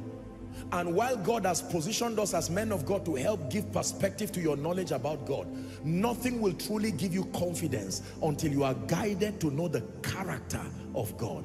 There are men that if they tell you anything about them, the first thing, you will be glad to say sorry later, but you will say, I know this person. Forget it, you are just talking nonsense. Hallelujah. Ah, this man collected a bribe of 5,000. This man that I know, well, we are all human, but until proven otherwise, I know this director, he will not bribe. Do you know God enough to stand and, and tell the dream that you saw, that in that dream, you saw everybody going down and a spirit appears and tells you God said. You say, uh, uh, uh, hold on, which God? If it's another God, that's fine. But to me, my altar is not to an unknown God. My altar is to a loving God, a compassionate and merciful God. And he can arise as a warrior. So when the devil comes to threaten you like, like, like the, the patriarchs of old, you can arise the fullness of my days I will fulfill. I lay me down and I slept, for this same God sustained me.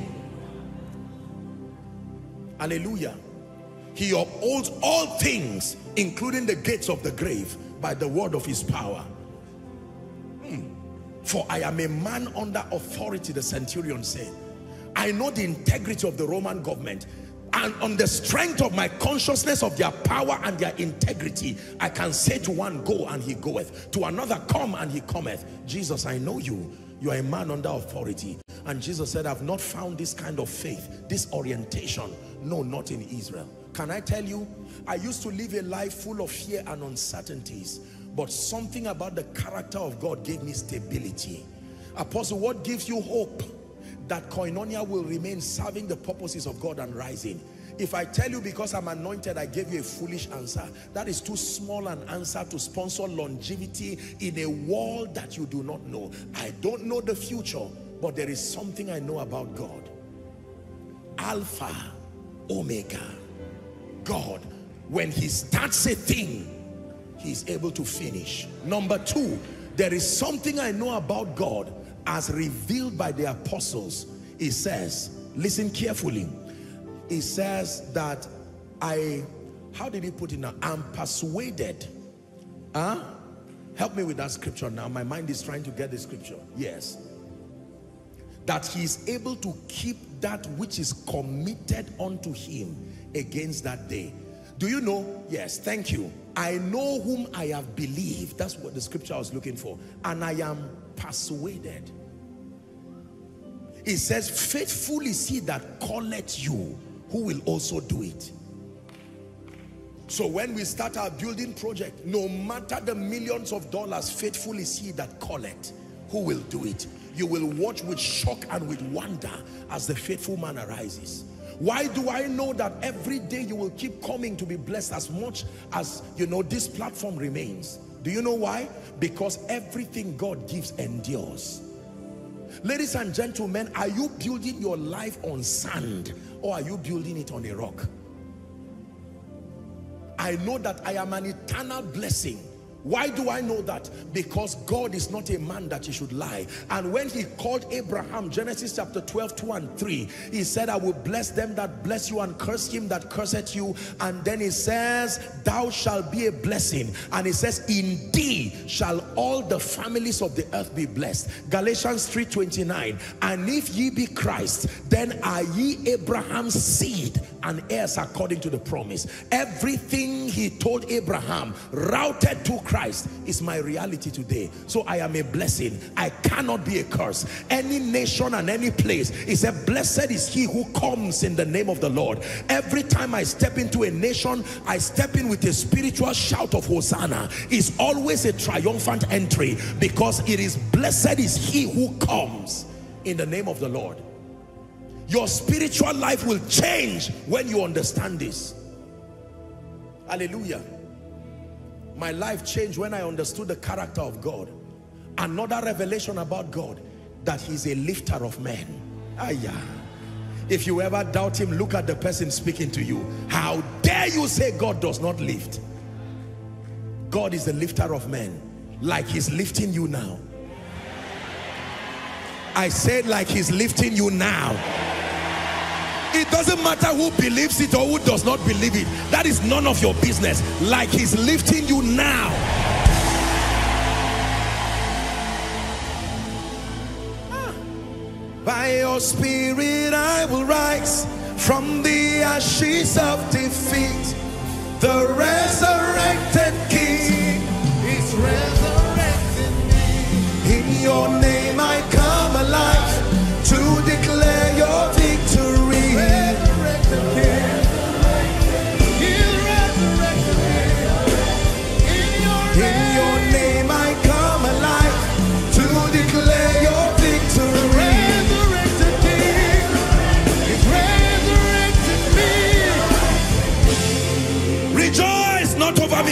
There is something about God that I know.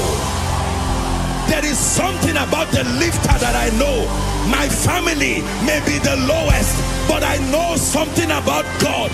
I am not serving an unknown God. My altar, my devotion is not to an unknown God. He is the rewarder of them that diligently seek him. Hallelujah. Hear me. When naysayers come to you and say you've been serving God for 20 years, what is the benefit? God rewards, he does not pay salary. His salary that is monthly, God's reward may look like it's not coming, but in one day, after 20 years, even if you are Abraham, it may take 25 years. But ladies and gentlemen, when the rewarder comes, he will come with his reward and his benefits and make your life a praise to the nations. Hallelujah. For many years we served God and gave him everything. And there was no comeliness and nothing in our lives that looked like God rewards. But something about his character for someone you have been praying and fasting and pressing in life and ministry because God said he's giving you the mantle and the mandate of a deliverer. Do not allow ignorant person confuse you about this God you are serving. The rewarder is on his way to you. Yours is to be diligent. Others were bribing in the office and you refused to bribe. Now you are feeling stupid because you would have lived in a duplex by now. You would have had cars if only you cut corner. I'm taking away the haziness from this God. He is not an unknown God. He can be known using the vista of his character. You can know God by knowing his character. It is true that God destroys, but who does he destroy? Let me tell you three categories of people in the Bible that God destroys. Number one, enemies. And when God destroys enemies, it's not just something that happens. Enemies there, let me define for you who God's enemies are. This is not my discussion, but I want you to know. God's enemy is not just the person who fights you. God's enemy is anybody who perpetually interrupts the manifestation of his will. God's definition of an enemy is not based on sentiments or biases. You can become God's enemy if you consistently become an interruption to his will. If he loves you because he's your, you're his child, he may not judge you in terms of throwing you, but you will be edged out of the position that creates that interruption by giving your bishopric to another. This is how God works. I taught you this already, our last discussion. Are we together now? Yes. So when you say arise and let your enemies be scattered, make sure you are not part of them first. That's why the Bible talks about righteousness. Who shall ascend to the hill of the Lord? Don't just pray blindly and be a victim of your prayer. You see that there's a lot of prayerfulness but in ignorance. Many people pray amiss. You think just because you hate a man, God hates the man. You can be saying, oh God, kill that director for me now. Help me and kill this man. And God is saying, no. Even though he's not my son, he's a Cyrus that I've ordained. And for as long as this system works, it is in honor to them that you will rise. There are Cyruses who, although they are not in Christ, they have through the sincerity of their heart aligned strategically to God's program. He will not take them out. He will leave them there. Their relevance is too important. This is a mystery. In God's end time program, you will see many people who are not of the faith playing sensitive roles. Because the most important thing, listen, when he appeared unto Joshua, do you not read your Bible? He said, are you for us or against us? What was the answer? He said, neither. No, this is not how I walk. I am for anything that is pro my will. So he said, who is on the Lord's side? Get my message, who is on the Lord's side? You have to, before you invoke God's judgment, verify your position. Many believers have become casualties of careless prophetic speakings. Lord, destroy anybody that stops your program. Destroy anybody. And God is saying, I'm warning you, you don't know what you are doing. Verify. Before Moses invoked judgment, he said, who is on the Lord's side? Let me give you a chance. If you are for him, and Elijah said, if God be God this way, if Baal, God will always give an opportunity for the will of man to willfully reject him before judgment is meted upon people. Are we together now? We see his character in Nineveh again as, as idolatrous and as stiff-necked and stubborn as they are. He sent Jonah. He loved Jonah, but Jonah's life went down as a genuine prophet. You don't have to be fake to destroy. You just have to be out of the will of God. Many good people will be corruptors of God's program simply because they do not understand the power of alignment. This is not about being real or fake. This is about being, if you are Jonah, rejecting the call of God and running away, you are putting Nineveh at ransom. God wanted to met out judgment or otherwise because he sits on a throne that is made of righteousness and justice. I hope you know that the very throne God sits on is an altar. Are we together? And Jonah was delaying the manifestation. He needed to give them a chance to choose him or otherwise. And look what God, the dealing that God had to go through with Jonah. Jonah entered the belly of the fish, caused people to lose until he repented, realigned, and the same instruction again. And he went to Nineveh.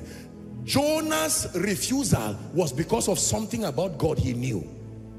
He knew that God was merciful and he hoped that his delay will make God angry and punish because God does not forbear with iniquity indefinitely. So he was running as a strategy that the evil will continue to rise as an indignation and God will be angry and punish them. But God said, Jonah, go. And the moment Jonah spoke to them, the king said, everyone, beast and man declare a fast. And Jonah was angry. Go and read your Bible. The entire discussion was the anger of Jonah. He said I know you. This is what I, this is this is why I ran. Because I knew that if they now repent with all this wickedness they have done you will still forgive them. Do you know that about God? If you know that about God, you can still reach your unbelieving grandfather. After doing witchcraft for 35 years, you can still tell him before you pass on to glory, let me give you a chance to love Jesus. And he says, you don't know how many people I've killed. He said, does not matter. The moment you declare the Lordship of Jesus over your life, the Bible says there is a translation from the kingdom of darkness. Hallelujah. Please be seated. The character of God. Is someone learning? Explore the character of God as a preacher, as a businessman, as a family man, and certain fears will die. Your confidence will be restored like that of uh, those who were in Bible days. The church of the Lord Jesus Christ is largely powerless in conviction because there is something about the character of God we do not know. Number two, what is the second aspect of God we must explore? His ways. Please write. His ways. His ways. Psalm 25, 4 and 5. You want to know God? Second to the knowledge of his character. The second thing you need to understand is how he operates. His character talks about who he is. His ways talk about how he operates. The secret to discernment, in addition to the gift of discernment by the Spirit, is a thorough knowledge of the ways of God. When you know how God acts, you will know how he does not act. Show me thy ways, O Lord. Teach me thy paths. Lead me in thy truth and teach me. For thou art the God of my salvation. On thee do I wait all day. Never forget this scripture. Psalm 25, 4 and 5. It says, show me your way. Teach me your path.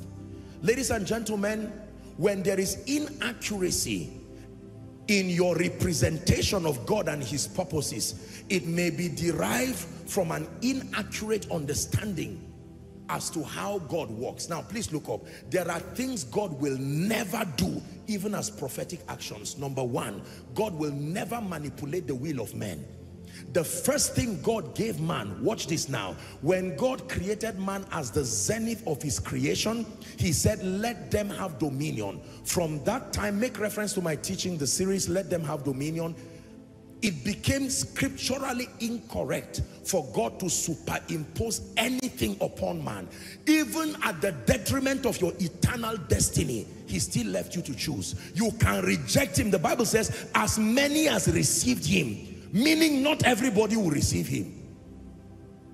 Can you imagine that? That God in his might, full of love, he's watching someone now go to hell and he's saying, I give you an option. You can choose me that you will leave. When he set up the brazen serpent, remember in the days of Moses, he said the instruction was to look and leave. I cannot force it on you.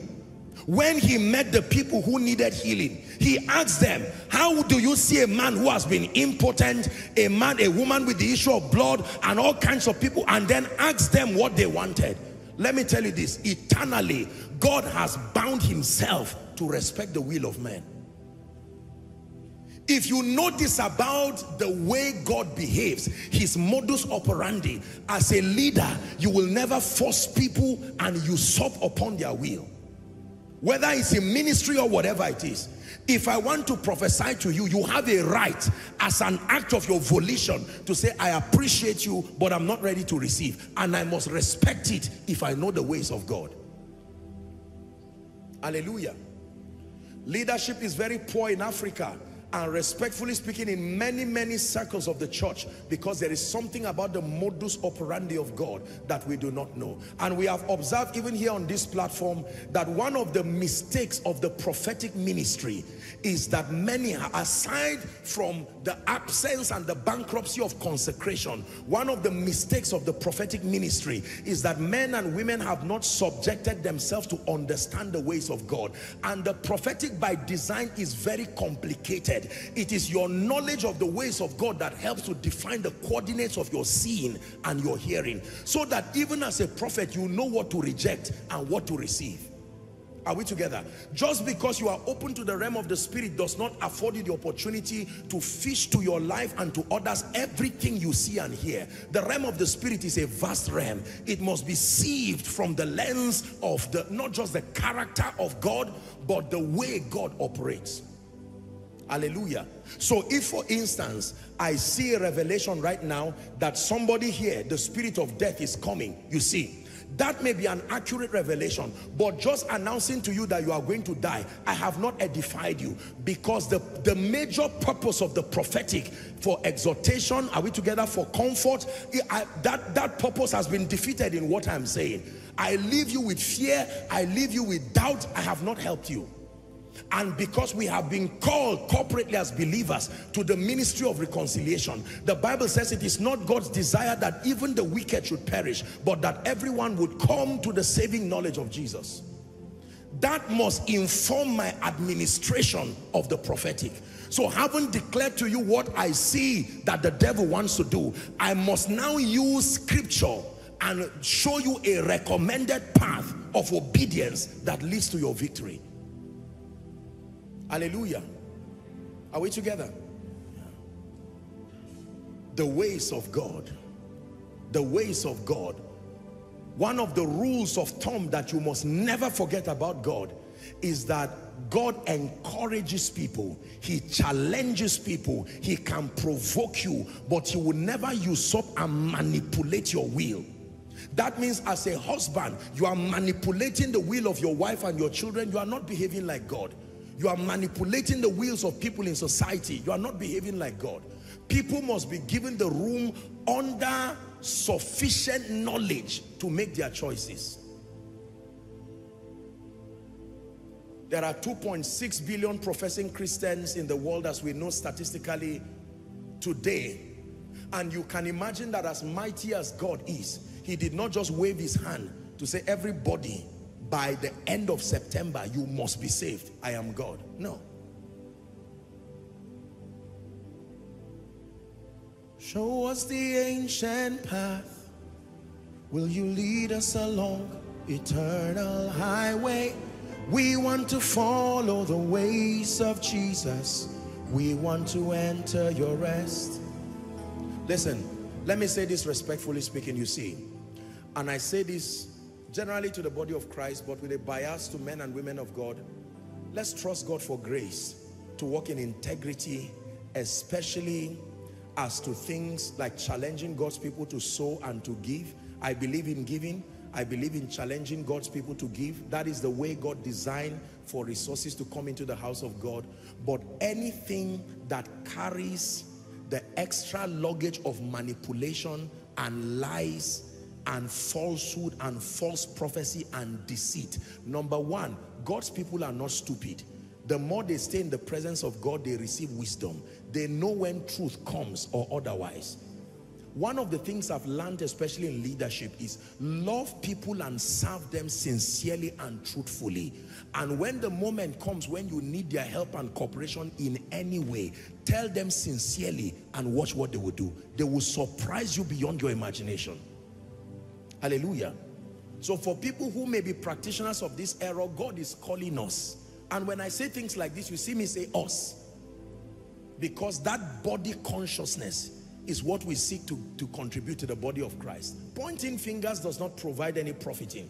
The most important thing is a holistic growth of the body through knowledge. Hallelujah. But it, it matters when you know how God operates, you will know how he does not operate. Hallelujah. Yes. Rather than embarrassing somebody, the Bible says to rebuke not an elder in public.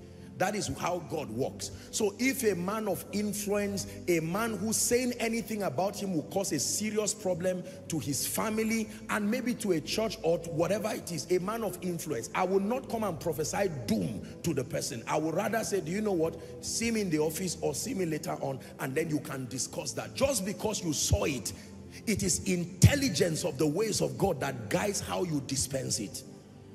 So you see that these are mistakes that sometimes we make. In the name of being bold, we say certain things that end up destroying people because you are talking to a CEO whose employees are there. You are talking to a governmental official. You are talking to kings and to nobles.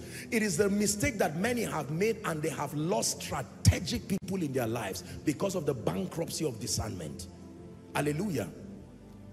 Praise the name of the Lord we must be very wise. Knowing the ways of God helps you to balance how to function. We function in the kingdom based on the knowledge of the ways of God. Jesus spent time, everything he said about the Beatitudes was helping the believers understand how the kingdom works. Are we together now? Yes. He said, this is what your law says, but this is what I now say.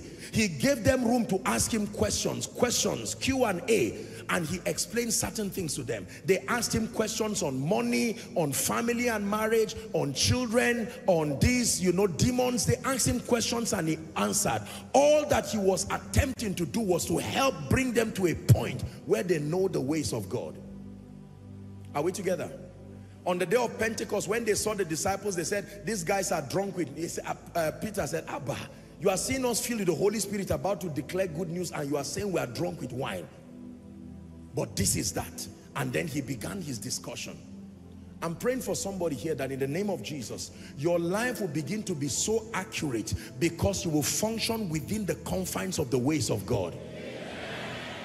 If you're a businessman, you're a preacher, you are, you are an, a leader of any sort, once you have subscribed to the government of heaven, you must limit your operations to be consistent with the ways of God. We must edit our principles and practices.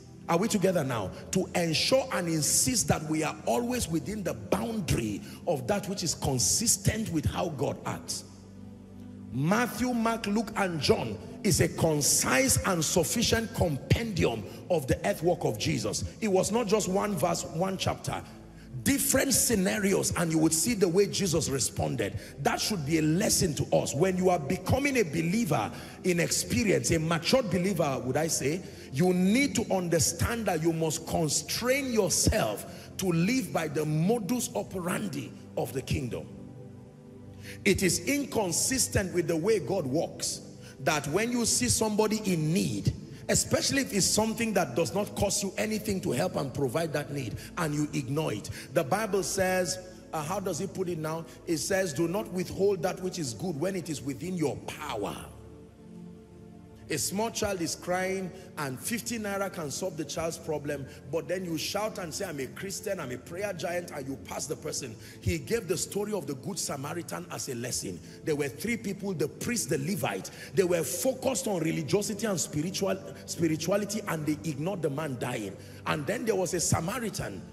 You see that now. Remember that the Samaritan and the Jews, they had nothing in common they were always at points of conflict. But now he saw this man who was beaten and left for dead. The Bible says he embalmed the person, treated the person, took him to a hotel and kept him there and told the man, please take care of him if there are any extra bills on my return. And Jesus said, among all of them, paraphrasing, who demonstrated godlikeness. True spirituality is beyond just prayer and fasting. It must be demonstrated in our ability to give the character of love, which is the foundation of the Christian faith, is on giving. You are not called to solve everybody's problem. So let me balance it so that careless people don't ride on this message and become a burden to people. There are people who will like what I've said now and say, Uncle, you see, Apostle has said you must pay my school fees, pay my house rent while you are crossing your hand and being irresponsible. No. As much as God is love, God does not endorse irresponsibility. Say amen. Hallelujah.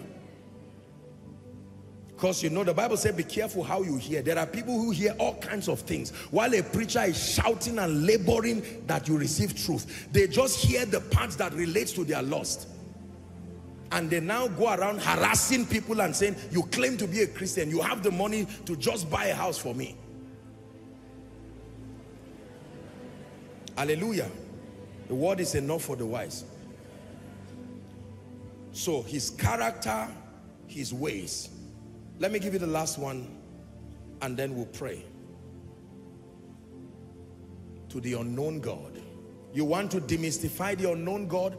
as far as our walk in the earth is concerned, the last dimension of him that you must press is the knowledge of his power. The knowledge of his character. Helping you to understand who he is. The knowledge of his ways helping you to know how to function in the kingdom within the limit and the boundary of his will. Now the knowledge of his power. Please listen to this one because here is where the administration of your authority and your power, the zenith of your dominion is at the mercy of this knowledge. The knowledge of his power. Psalm 63 and verse 2. Verse 1 says, Oh Lord, give us verse 1. Let's do 1 and 2. Oh God, thou art my God. Early will I seek thee. So he's seeking God. My soul thirsted for thee. My flesh longed for thee in a dry and thirsty land where no water is. Why? Verse 2. To see thy power. Not just to see your face. Not just to know your ways.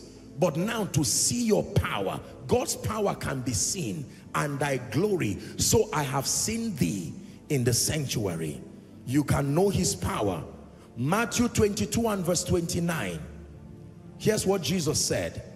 Ye do err, not knowing the scriptures, nor the power of God. What is the word err? You will walk in error you will walk in confusion. You will walk in defiance and in deviation to God's preset pattern. When you do not know his ways, like I taught earlier, and you do not know his power, that means the power of God can keep a man in the will of God. In fact, the assignment of the power of God is to bring all things in alignment with the will of God. I have taught you here that outside of the will of God, the power of God has no assignment. The assignment of the power of God is to bring all things into the will of God. The power of God only stops working when triggered by faith. It only stops working when that issue, that matter, or that person has come into perfect alignment with the will of God. So when you see a sick person and you release the healing power, the healing anointing, what is the assignment of the healing power? The healing power does not, it doesn't just come there to heal the person. It scans that man's life and sees what aspect of his health is inconsistent with the will of God. And like a drug in your body, it begins to correct depending on the dimension and the gravity of the power released. It can bring you into perfect alignment. Do you understand what I'm sharing with you? You want to know God? You have not truly known God as far as it is given to us if you do not know his power. Ephesians 1 18. Hmm. I love you forever. I love you forever. I love you forever, Lord. I love you forever. I love you forever. I love you forever. Paul is speaking to the church in Ephesus. This Paul was a powerful man. That the eyes of your understanding being enlightened. Watch all the things he wants them to know. That ye may know, number one, what is the hope of his calling. Number two, what is the riches of the glory of his inheritance in the saints. Read 19 if you're a Christian, please. Ready? One to read. What is the third thing he wants us to know? What is the exceeding greatness of his power to us word who believe according to the working of his mighty power. Let me stretch it to 21 verse 20.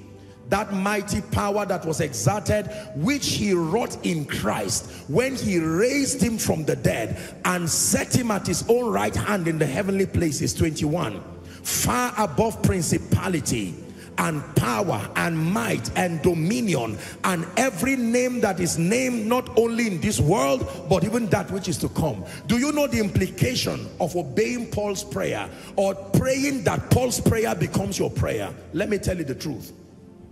There is no weakness for the believer who knows the power of God. Mm -mm. And this is beyond the realm of miracles and signs and wonders.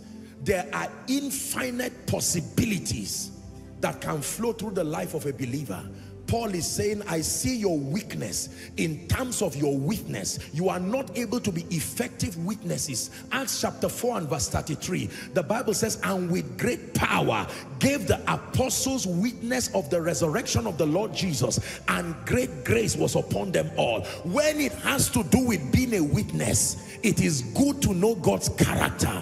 It is good to know God's ways. But in the face of curses and yokes, and the arsenals of darkness, the gates of hell that wants to prevail over God's people. Ladies and gentlemen, you need to know his power. You need to know his power. It is the revelation of God's power that brings you into unquestionable dominion. First Samuel 17, 44 to 47. The story that I started earlier on. And the Philistines said to David, Come to me, Goliath now, and I will give thy flesh to the fowls of the air and to the beasts of the field. Look at the reply of a young boy who had encountered the power of God. Then David said to the Philistine, and ladies and gentlemen, today that Philistine can be anything that speaks to you. It can be sickness, it can be life, it can be limitations. David replied the Philistine, thou comest to me with a sword and with a spear and with a shield. But I come to thee in the name of the Lord of hosts. We can spend all night teaching what this name is. The Lord of hosts. The literal Hebrew translation is the captain of the angel army. Some versions will say the, the the captain of the angel army. If you read verse, versions like um, um, maybe the message or New Living Translation, they will give you greater perspective as to this. It says, beautiful, I come to you message now in the name of God of the angel armies. Do you know what that means? It is an office that every president has. In Nigeria, we call it the Grand Commander. You see that now? That status that is given a civilian even if he becomes president you are in charge of the entire armed forces and it is only at your final command that war is executed or prohibited. So he say i come to you in the name. There is something i know about god and his power that when he gives a command you are dead. It is in that name i come. Let's finish the scripture. Back to kjv 45 First Samuel 17, 45. Now you understand? I come to you in the name of the Lord of hosts, the God of the armies of Israel, whom thou hast defied. Watch this. Reading 46 now. This day, this gentleman is not just prophesying. He's speaking from the abundance of his revelation about the God who gave him the bear, the God who gave him the lion, that he tore the lion and the bear if you meet a bear in the forest, run as you pray. Run as you pray. Don't pray alone and stand there. Run as you pray because you most likely may not survive. Those animals are vicious. And worst is a lion. Do you climb a tree to be safe? Do you jump into the river to be safe? Number one, what will even take you there? That's what we must probe. What took you there? Most likely disobedience would have taken you there. Hallelujah. Are we together? This day, the Lord will deliver thee. Who else in the Bible made this kind of bold statement? Bible knowledge. Shadrach, Meshach, and Abednego. Those three young boys, when they stood before Nebuchadnezzar, staring as that idol, that 90 feet statue made of gold, they said, Oh king, we've been taught to honor, but in this matter, we will not respect you on that. Our God is able to deliver us and he will. But that even if he does not deliver us, for sure, bowing down to you. Mm -mm. Yesterday I was tired and I was just resting in the living room um, just for a while. And then I saw this children's cartoon and that was Superbook and it was that story. I decided to watch it preparing for this sermon. I said, thank you, Jesus.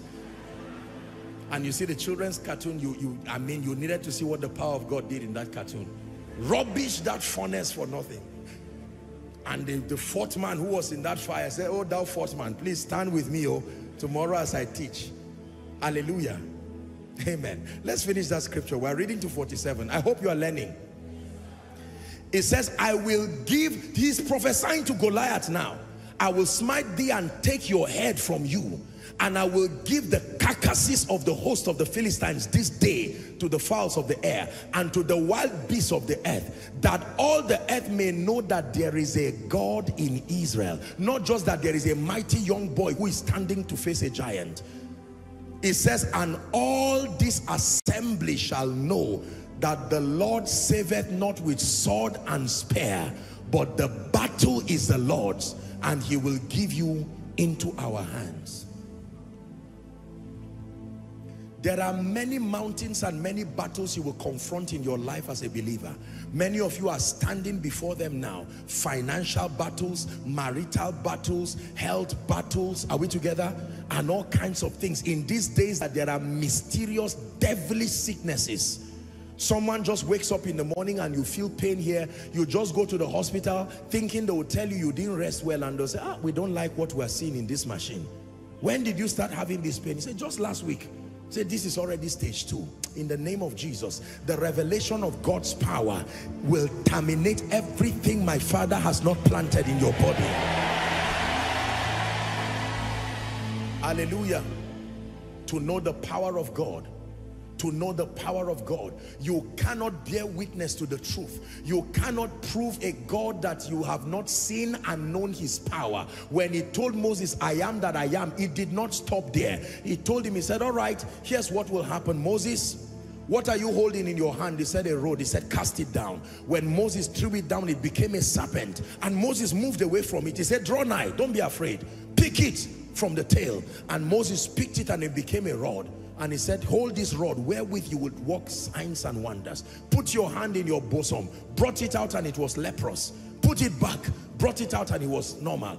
That means anything you see Pharaoh doing, don't be afraid. I have used your own body to act out my power to you. Moses was on his way. He went to knock. Thus said the Lord God of the Hebrews, let my people go. And Pharaoh said, look at this stupid guy. You ran away for 40 years to the wilderness. And now you are back looking like somebody who was rejected with some careless message that the God of the Hebrews, you think we are stupid people in Egypt. Moses said, I don't have time to waste discussing with you. He threw his rod on the ground. Pharaoh looked at him and said, shame on you. If this is what you brought to make me bring God's people out. Mm -mm. Jannes, Jambres, bring your rod. And they threw their rods. And when it became a serpent, do you know how if you don't know God well, when the devil does what you think God can do, you will now run away. Nine plagues, ten plagues. Just because you saw one, does that mean that is all? There is a plague that Pharaoh and his wizards cannot reproduce. After nine plagues and stubborn Pharaoh said it's not enough, God said, I know what to do. They know the implication of firstborns. Don't worry, allow them. And that night, the angel of death swept over Egypt they woke up with a lamentation. The firstborns were all dead. When you study now uh, you study these things with caution. Don't just go and read something that will make you start seeing spirits. Are we together now? When you are exploring extra biblical materials you do it with maturity and with wisdom. Are we together now a believer who just got born again, there are books you should not expose yourself into. You would destroy yourself and you would dwindle your faith. But when you study, even if it's Egyptian cytology, you know that they dedicated their firstborns to God. There was a mystery of the strength of Egypt that was shrouded in their firstborns. You could kill all their children, go ahead, but not their firstborns. So when God was visiting the firstborns, there was something that happened there. And at the end of it, Pharaoh said, go give them gold, give them anything, let them go, let them go. Please leave this place. And as soon as they left, he came to pursue them again. And this time around, God made, he did something that Pharaoh wondered. The Red Sea opened. And when they stepped into it, the Red Sea buried them completely.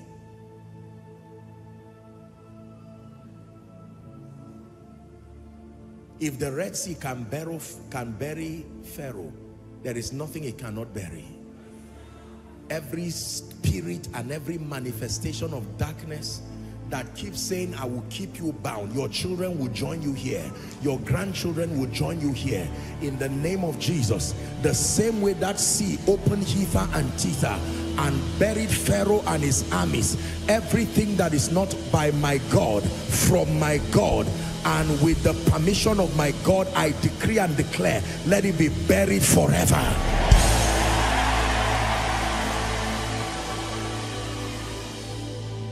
Now you understand David Dam's song. Only Yeshua will reign forever. To his kingdom there'll be no end. There is a third part I have not learned. That's the part I want you to sing. I always sing stanza one and two. Sing it for us. There are chains. Listen. There are curses. But no evil can stand your power. Only Yeshua will reign forever. To his kingdom there'll be no end. Listen to me. Power is the ability to cause change. Many times the ability to force change. Psalm 66 and verse 3 Say unto God, how terrible art thou in thy works. Through the greatness of thy power shall thy enemies submit themselves to you. Ladies and gentlemen, the end time church is a church of power. Power not just to become, but power against. Power to become is the engracing that makes you become like Christ in terms of transformation. Power against reveals the warrior dimension of the believer. The Bible says to put on the whole armor of God. You know how you put the whole armor of God? In your mind and by your speakings. That is how you put the whole armor of God. The whole armor of God is a consciousness and then the reality of it is activated as you speak with understanding. So Paul paints a picture of a warrior, the breastplate of righteousness, the shield of faith, the helmet of salvation. He gives you the description of a warrior because he reminds you that the earth is not just a playground. The truth is that there, the Bible says that the flesh lusted after the spirit, the spirit lusted after the flesh, and that consistently, day two, the mystery of Cain and Abel, there is a contention of the old and the new man. Satan, the gates of hell, fighting the church and the purposes of God. Believers, you can be wise in terms of the knowledge of principles. But can I tell you the truth? The days that are before us, please listen to me, we're about to pray. The days that are before us are times that will necessitate power. Power genuine spiritual power. You want to see the sick healed? It takes more than sympathy. You need power. How God anointed Jesus of Nazareth, Acts 10 38, with the Holy Ghost and with power. My Bible says he went about doing good and healing all they that were oppressed of the devil, for God was with him. Acts chapter 8 from verse 5. Philip went down to Samaria and preached Christ unto them. The next verse says the people gave heed with one accord to those things which Philip spake. Why? Because they heard and they saw the miracles that he did. A generation of power will also be the generation of glory. To see your power and your glory. You cannot see glory without power. Hallelujah. The spirit of glory was also the spirit of power. Ladies and gentlemen, please hear me. I have told you again and again and I will repeat it. Ladies and gentlemen, please hear me. Do not begin your faith adventure in this kingdom, especially within this complicated time, as a man of God, a businessman, a leader, without sorting the revelation of genuine power. Accessing power is progressive but there is a threshold measure of spiritual power you need to begin your journey because you are treading very, very complicated and delicate spiritual terrains. Satan will kill anything he can kill, destroy anything he can destroy. And power is what may afford you the longevity of stay and impact. Hallelujah. There are forces. I was, we're having a wonderful time with our School of Ministry students. By the way, I hope you are warming up for their graduation coming soon. We're going to announce it. It will be a beautiful time.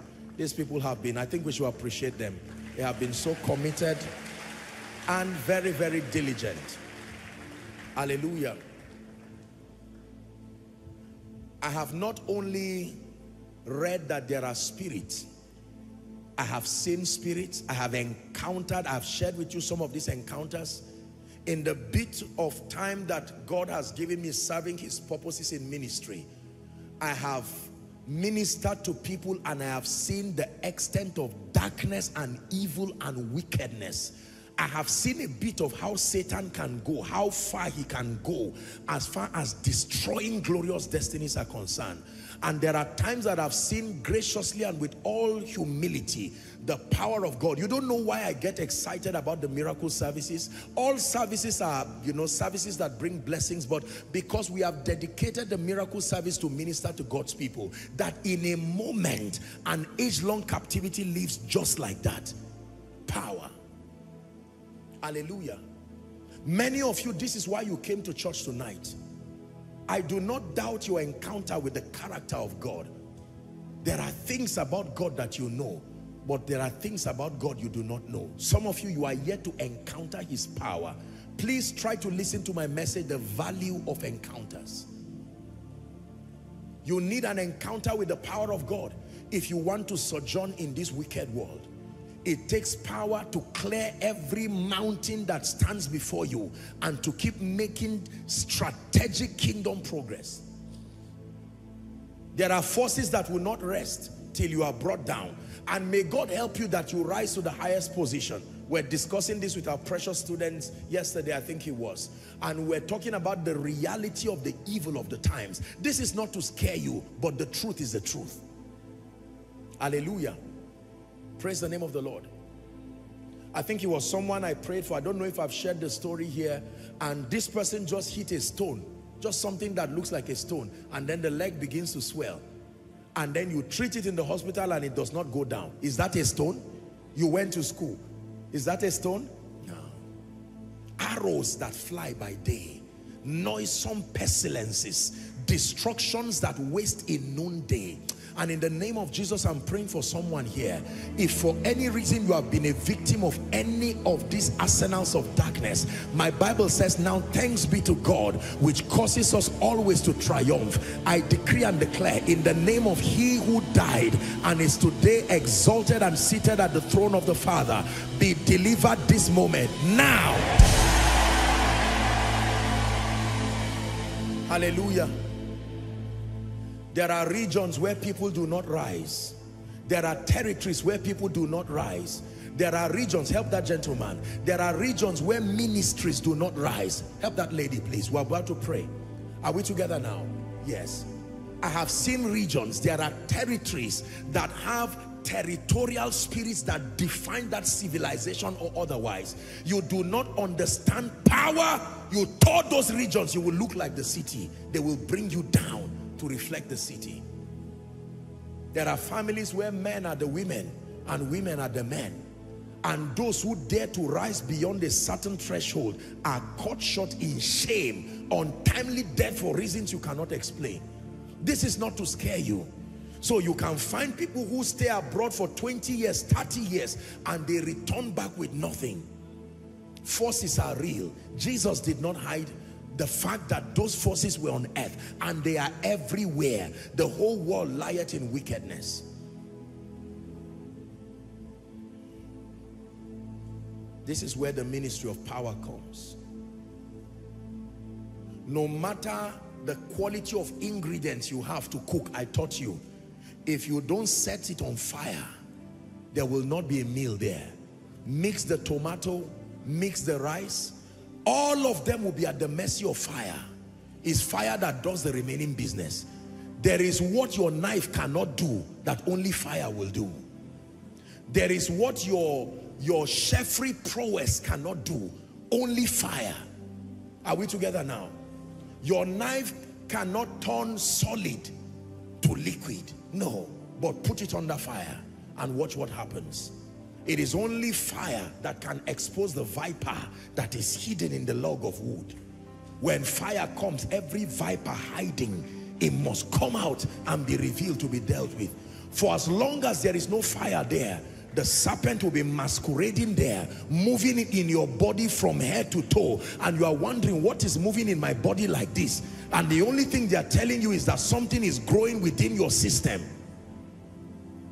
Hallelujah. The fire of the Holy Ghost, an encounter with the power of God. Let me recap one last time and then we'll pray.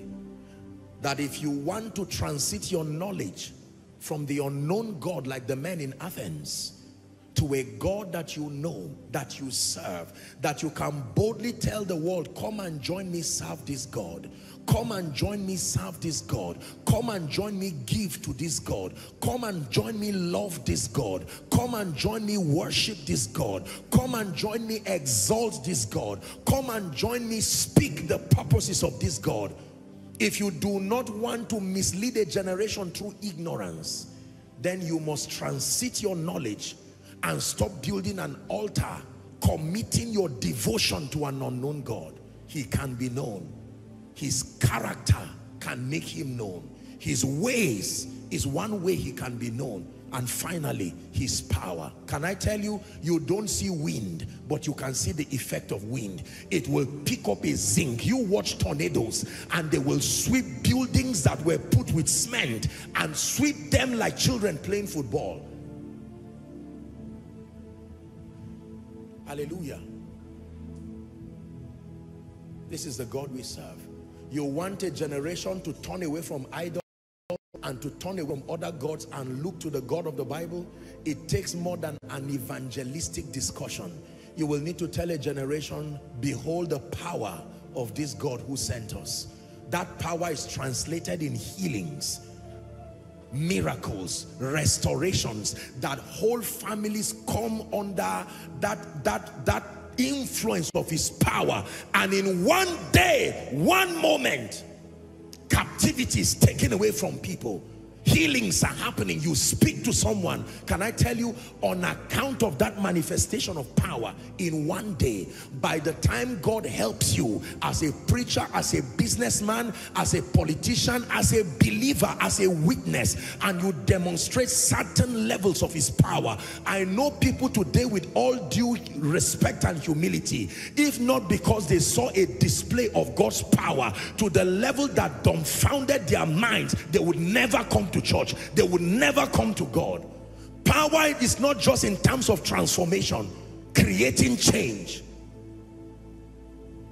That someone who will tell you, I had HIV, this is the medical report. I didn't believe in God because I was angry. Now here is my result. I had cancer stage four. Now look at it. Medically verified. How do you deny that?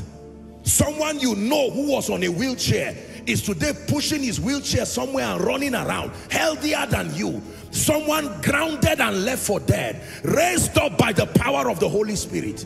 Ladies and gentlemen, we need our generation to see a display of his power again. Power reminds all men that there is a God that sits in heaven. When men forget God, he uses his power to remind them of his person. There is a generation that may not seem to really respect character as important that, as that is. God has never used character to call the attention of a rebellious generation. He uses his power. When he gets the attention, he now begins to teach them his ways and then finally brings them into conformity with his character. Are we together now? When a rebellious generation or a generation that is bedeviled in any way when God wants to call your attention, Elijah did not stand there singing praises and dancing. It was the power of God. Same with Gideon. Same with the three Hebrew boys. The pattern has always been first a display of his power. I'm the only one who is saved in a family of 10 people. Let them see a demonstration of God's power beyond falling down and standing up, beyond just speaking gibberish as a preacher power, supernatural solutions by the Spirit of God. That a man who you knew at January could not pay his house rent, was not serious, but he started coming to church. By June, God has lifted him, changed his story, wiped his tears, healed the sick. Haba, ladies and gentlemen, men have not grown to a level of civilization where the power of God becomes of non-effect. The power of God is at the fabric of human living and it will be forever. You may not need a typewriter now again you may not need certain things. You may not need certain elementary basic kinds of phones because technology has gone. But one dimension that will never be outdated is the power of God. If you have the power of God, you are current for all seasons. Hallelujah. There are things that if you studied before with respect to the world now, you may need to reinvent yourself, but not power is a language that is understood in all realms. As for me, oh, I told you last week, I have made a commitment under God. I am not satisfied with the level of power. I thank God for the wonderful things he has done. But with respect to the heights and the dimensions we seek to step into, to represent the purposes of Jesus, there is the dimension of God's power that can save a nation in one day. We need to tap into that frequency. You're a man of God, you must thank God for what he has done, but not camp around it. Oh, I'm an evangelist. I go to preach, there are five people getting saved. Thank God for it, but you cannot stay like that. Five people in a territory full of idolatry, idolatry and all kinds of things? No. Read your Bible and see how nations were saved in one day. By the time five dead people rise up in one week, verified through your hands under God, with the glory going to God, it becomes too notable to be ignored. I've seen these things in my vision, so there are days before us, but it takes stamina and hunger and press. I've prayed to God many times and said, Lord, take away anything that will bring complacency in my life the cancer of arrival mentality drive it out of my life. Let me seek you like i've never found you. Let me seek you like i do not know so much because it is true i do not know much. There are still heights. This was the hunger of paul that i may know him. That i may know him. That i may know him. A man who was killed he got up dusted himself and came back to life until his assignment was over. Have you tapped into that realm? Only Yeshua will reign forever. To your kingdom there'll be no end.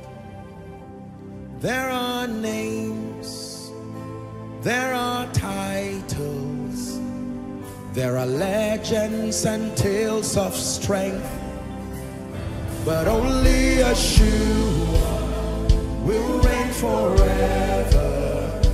To his kingdom there'll be no end. Only Yeshua,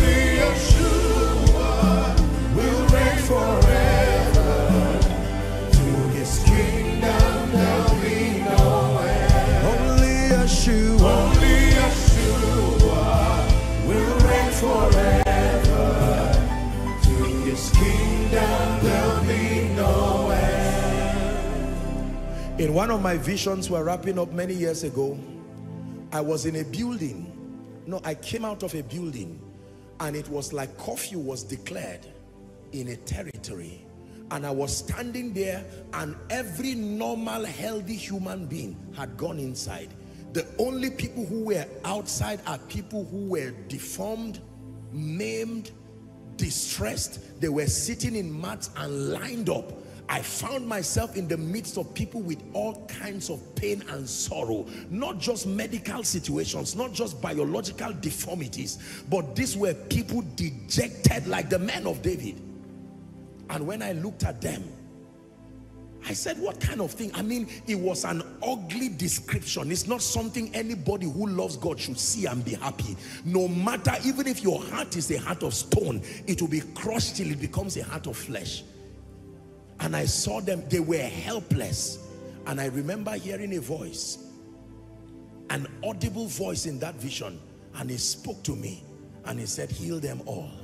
This is not just physical healing, the healing anointing alone. That was one of the things that made me to go and start looking for the materials of Charles and Frances Hunter, and Aimee Semple McPherson. And I said, no, there's something our generation has not touched. Let's go back. The secret of the future is in the past. We need to go back.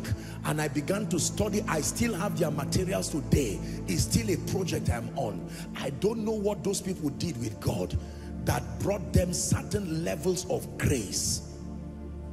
Hallelujah certain levels of grace. These men carried grace. They carried grace. May God revive us, oh, may God revive us. In the name of Jesus, may God revive us.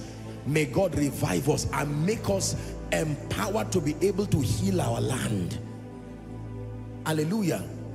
Some of the miracles we celebrate today, sincerely, they were the people who were the workers and the ushers in those ministries that worked in it. Now, we thank God for what he has helped us do. The things we celebrate today would not even be clapped at during their days. They were men who were like gods. Smith Wigglesworth raises somebody who was dead and kept the person and tells him to jack back to life. He falls down like a pack of cards, lifts him again, he falls down, and by the third time the man sniffs and then he comes back to life. That was a casual miracle. A group of people look at, um, not Kathryn Kuhlman now, what's her name, the other woman? Maria Woodworth-Etter. And they insulted her and she just looked at them and said, the Lord judge you. And the tongue of one of them protruded like a cancer and remained there. Till a committee came together and brought her to come and apologize. And she just slapped the tongue and it went down. Documented in history and fear came upon all. You see that now. The mockery that has come to the house of God is because one person has not been used as a warning that there is sanctity and honor that surrounds priesthood. And that is not just by debate and shouting and all of that. See, ladies and gentlemen, I'm challenging you tonight. There is power that can come upon you as a businessman. You will do business like a spirit not like an individual again. That there are heights you will scale. You will do certain things that will surprise men. And people will have to ask you and say how are you doing this? And you will tell them that beyond my intellectual prowess which is important there are certain graces that have been stored to be poured like vials from heaven upon a generation. My charge for you tonight is that you desist from knowing and from, from advocating an unknown God, a God that is filled with gaps in your conviction, gaps in your confidence that your life is plagued with all kinds of fear. You may preach with confidence but live in fear. You may talk with confidence but live in fear. Covid was a strong lesson to us that something was wrong with our convictions that something about our confidence needed an upgrade. Only Yeshua will reign forever to his kingdom there'll be no end. Only Yeshua will reign forever. To his kingdom there'll be no end. Three more times. Only Yeshua will reign forever. To his kingdom there'll be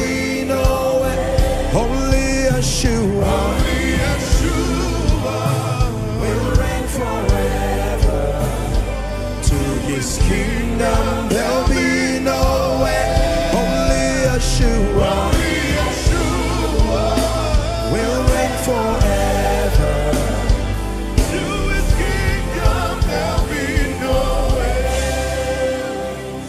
This is now the reason why I asked you to stand.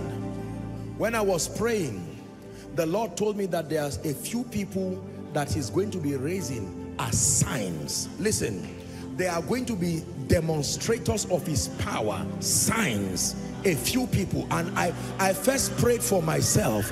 I said Lord I must become one of such people. Now I want to pray for you. Lord I pray that you find men and women in the midst of your people men who will be signs signposts showing men the possibilities that are captured in this divine life. Therefore I stretch my hands in the name of Jesus Christ by the election of grace, I decree and declare that the grace that makes you a sign and a wonder in ministry, in your profession, in business, in family, may that grace rest upon you now. May that grace rest upon you now. Rest upon you now. Your life ceases to be ordinary from tonight. A sign and a wonder. Your life becomes a Bible for many to read. A compendium of the manifold wonders of God. In the name of Jesus Christ. Only Yeshua will reign forever. To his kingdom there'll be no. For some of you, the sign that will rest on you is the favor of God. For some of you, the sign that will work will rest on you is the healing anointing. For some of you, the sign that will rest on you is strange influence, inexplainable influence. For some of you, the sign that will rest on you is speed that cannot be described. For some of you, the sign that will rest on you is a demonstration of the gift of the Spirit at a level that men have not seen. For some of you, the sign that God will give you is empowerment in your mind, extraordinary intelligence. But by all means, may that sign be represented in your life. I and the children that the Lord has given me, the Bible says, we are for signs, for signs, for signs. There are worshippers that will become signs. You will not just sing songs. There will be mysteries from your voice to the nation. There are preachers that will not just be preachers as it were, but signs and wonders. Your life becomes a case study that men use your life to learn God. Financial signs arise. Favor signs arise.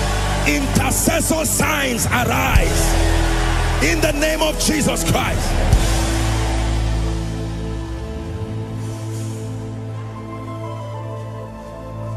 Listen. When you want to go to a restaurant that you have never been before, when you are close to the vicinity and you're in doubt as to whether to turn left or right, you may not have seen the actual building, but you look for the signpost. The signpost number one tells you you are near and then it directs you more accurately into it. I'm about to pray that prayer that someone who is confused about God, confused about how favor works, confused about how consecration works, confused about how the spirit of revelation functions in a man, confused as to how men can be custodians of the mysteries of God, confused as to how God can trust men with nations in the name of Jesus. Tonight, may your life be an explanation to divine mysteries. May your life be an explanation to divine mysteries. In the name of Jesus. The last prayer I speak over you. Three, his character, knowing God. His ways, knowing God. And then his power. For many of us, you have desired to know God. You have fasted, you have prayed. Now God has created a bearing for you this three is not all to know about God, but as far as this dimension of our existence is concerned, God will only be captured and revealed to men under these three channels. His character, his ways, and his power. Any route to knowing God beyond this, as much as scripture reveals, will only tilt you to error and divination that any man who seeks to know God must explore God through the platform of his character, the platform of his ways, and the platform of his power. I decree and declare every dimension of that revelation that is currently deficient in your life, I call upon my God who is also your God that by his spirit who has been mandated to be the revealer of all things even the deep things of God may the spirit of revelation rest upon you may the spirit of revelation rest upon you in the name of Jesus Christ You can know God accurately when you know his character. You can know God accurately when you understand his ways. You can know God accurately when you know his power. The proof that you have encountered his character is that there is a conformity in your life to become like Jesus Christ in experience. An experiential conformity is proof that you have encountered his character. And then the absence of fear. Fear is replaced with reverence in your life. That you revere him, but not fear after the flesh. Number two, when you understand the ways of God, the proof is excellence as far as living in the cosmos. The superiority of the way of God. When you know the way of God, are we together now? You will triumph as far as destiny actualization and fulfilling the purposes of God is concerned. But then your dominion in experience is established when you know his power. Now you access in truth the grace to demonstrate and to validate as a witness that he is king, that he is Lord. And this one is very important, especially because of the context of the world and the civilization that we live in now. This world needs to see the power of God beyond falling down, beyond rising up. As wonderful as that is, supernatural solutions, superimposing systems and structures, that your words no longer become barren nor impotent. Your life becomes an explanation to divine mysteries, that as he takes you from nation to nation, you literally enter a nation and keep it at a standstill, not just in terms of the carnality by the flesh, but that your life, you become such a lampstand, a witness indeed. There are many, many Christians in Abuja, many children of God, sincerely so, but there are few people who have truly known God in his character, who have understood his ways. There are many things we complain about that should never be prayer points. The answer to them are shrouded in knowing the ways of God. And yet, in the midst of all our services and all that we do respectfully, it looks and seems to me like evil continues to multiply within our horizon. It seems they have no honor and regard for our consecration. It seems they have no honor and regard for our loyalty, our profession of faith. Something is wrong. There needs to be a restoration of authentic power. The church or the believers, the men in Athens, they were devout, superstitious, religious, zealous, sincere, dedicated. But all that was to an unknown God. Now he calls us to take away that inscription and to rewrite for ourselves and for a generation to see that God can be known and he can be known accurately. If Paul did it, we can do it. We can disciple and mentor a generation methodically to know God by revealing his character, showing them his ways, and ultimately demonstrating his power. May that be our reality beginning from now. In the name of Jesus Christ, I pray. Let me make the altar call. You are here and you've heard me teach and Jesus is speaking to you that it is time to make it right with him. You want to know God? John 17, 3.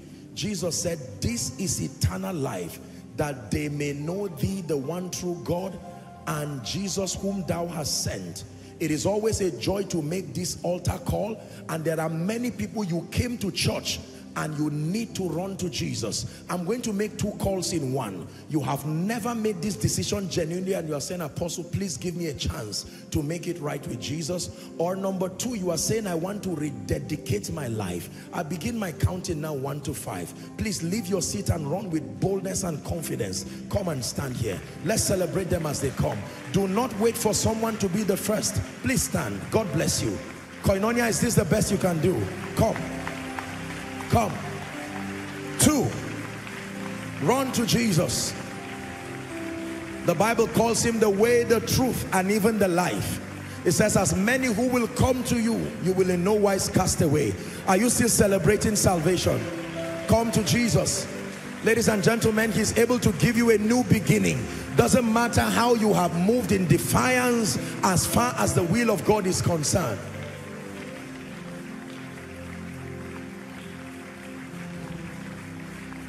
Come. God bless you. Young and old, come. Male and female, come. From all walks of life. It's a joy and a pleasure for me to lead you to this Jesus. Now he's not an unknown God. He seeks to be known as great and manifold as he is in his wisdom and his ways. In as much as there is no searching of his understanding, I want you to know that he can be known. Do not ever leave your Christian experience with this gap and this ignorance that God does not want to be known. As mysterious and as mighty, as manifold, as vast as he is.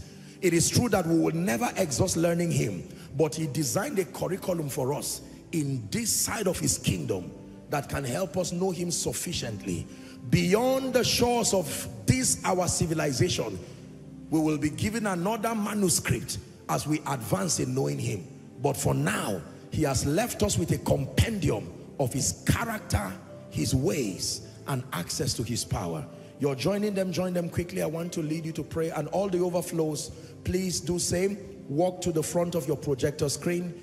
And for all who are following from across the globe, any nation, watching by television, watching by internet, it's my joy and honor to lead you to this Jesus the Father and even his Son, whom he sent as a mediator, a reconciler. He's brought us now through a new and living way.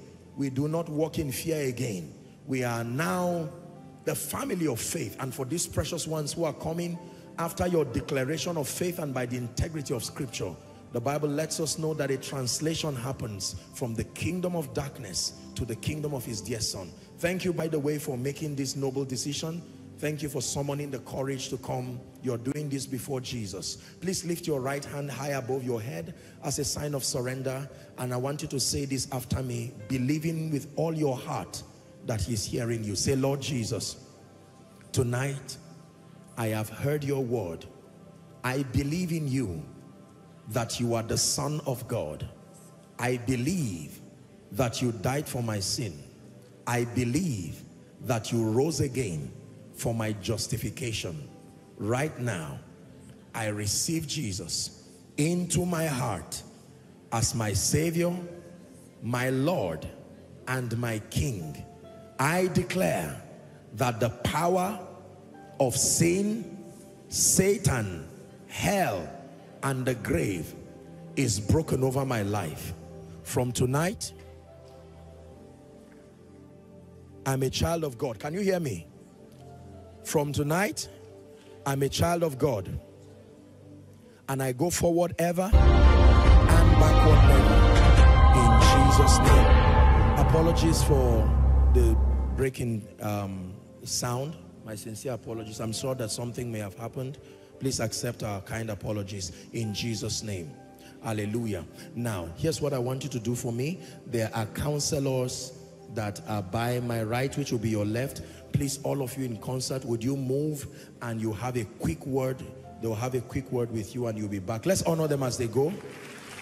Koinonia is this the best you can do? Hallelujah. Praise the lord.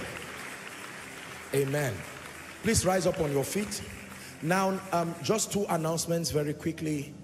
Hallelujah. By the way my apologies again. I'm sure something may have happened with the power. Um, I'll do it. I'll do a proper announcement by next week, the miracle service.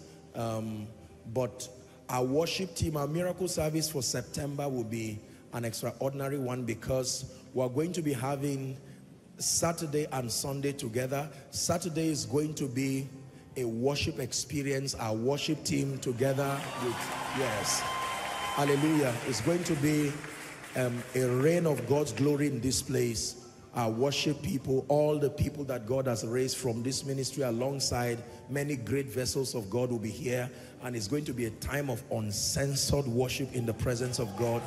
That Saturday, uh, not this month, now next month, I'm just announcing in, ad in advance. Um, so that's very important.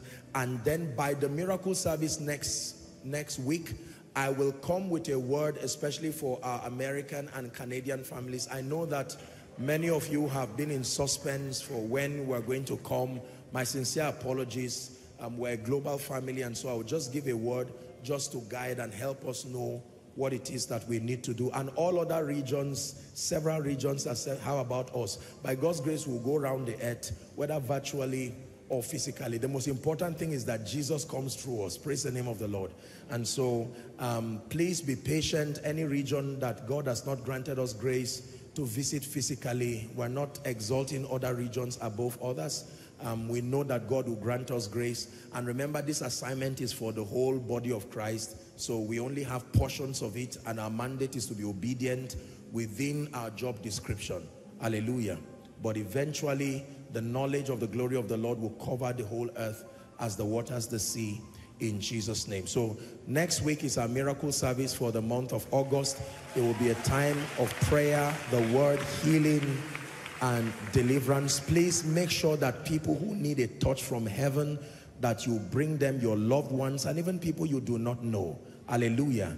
And families you know who have been under all kinds of bondages, invite them. And for those who are online, make sure that as many connect by faith and let's exalt the name of Jesus as we see that his kingdom come in the lives of men. And for tonight, thank you so much. I just spotted two people. I, I, I only know um, two of them. My apologies. And my salutations to all the men and the women of God who have been here. Um, Apostle Babs, thank you so much. The Lord bless you. And my dear son in the gospel, Pastor Ike, all the way from Asaba. God bless you in Jesus' name.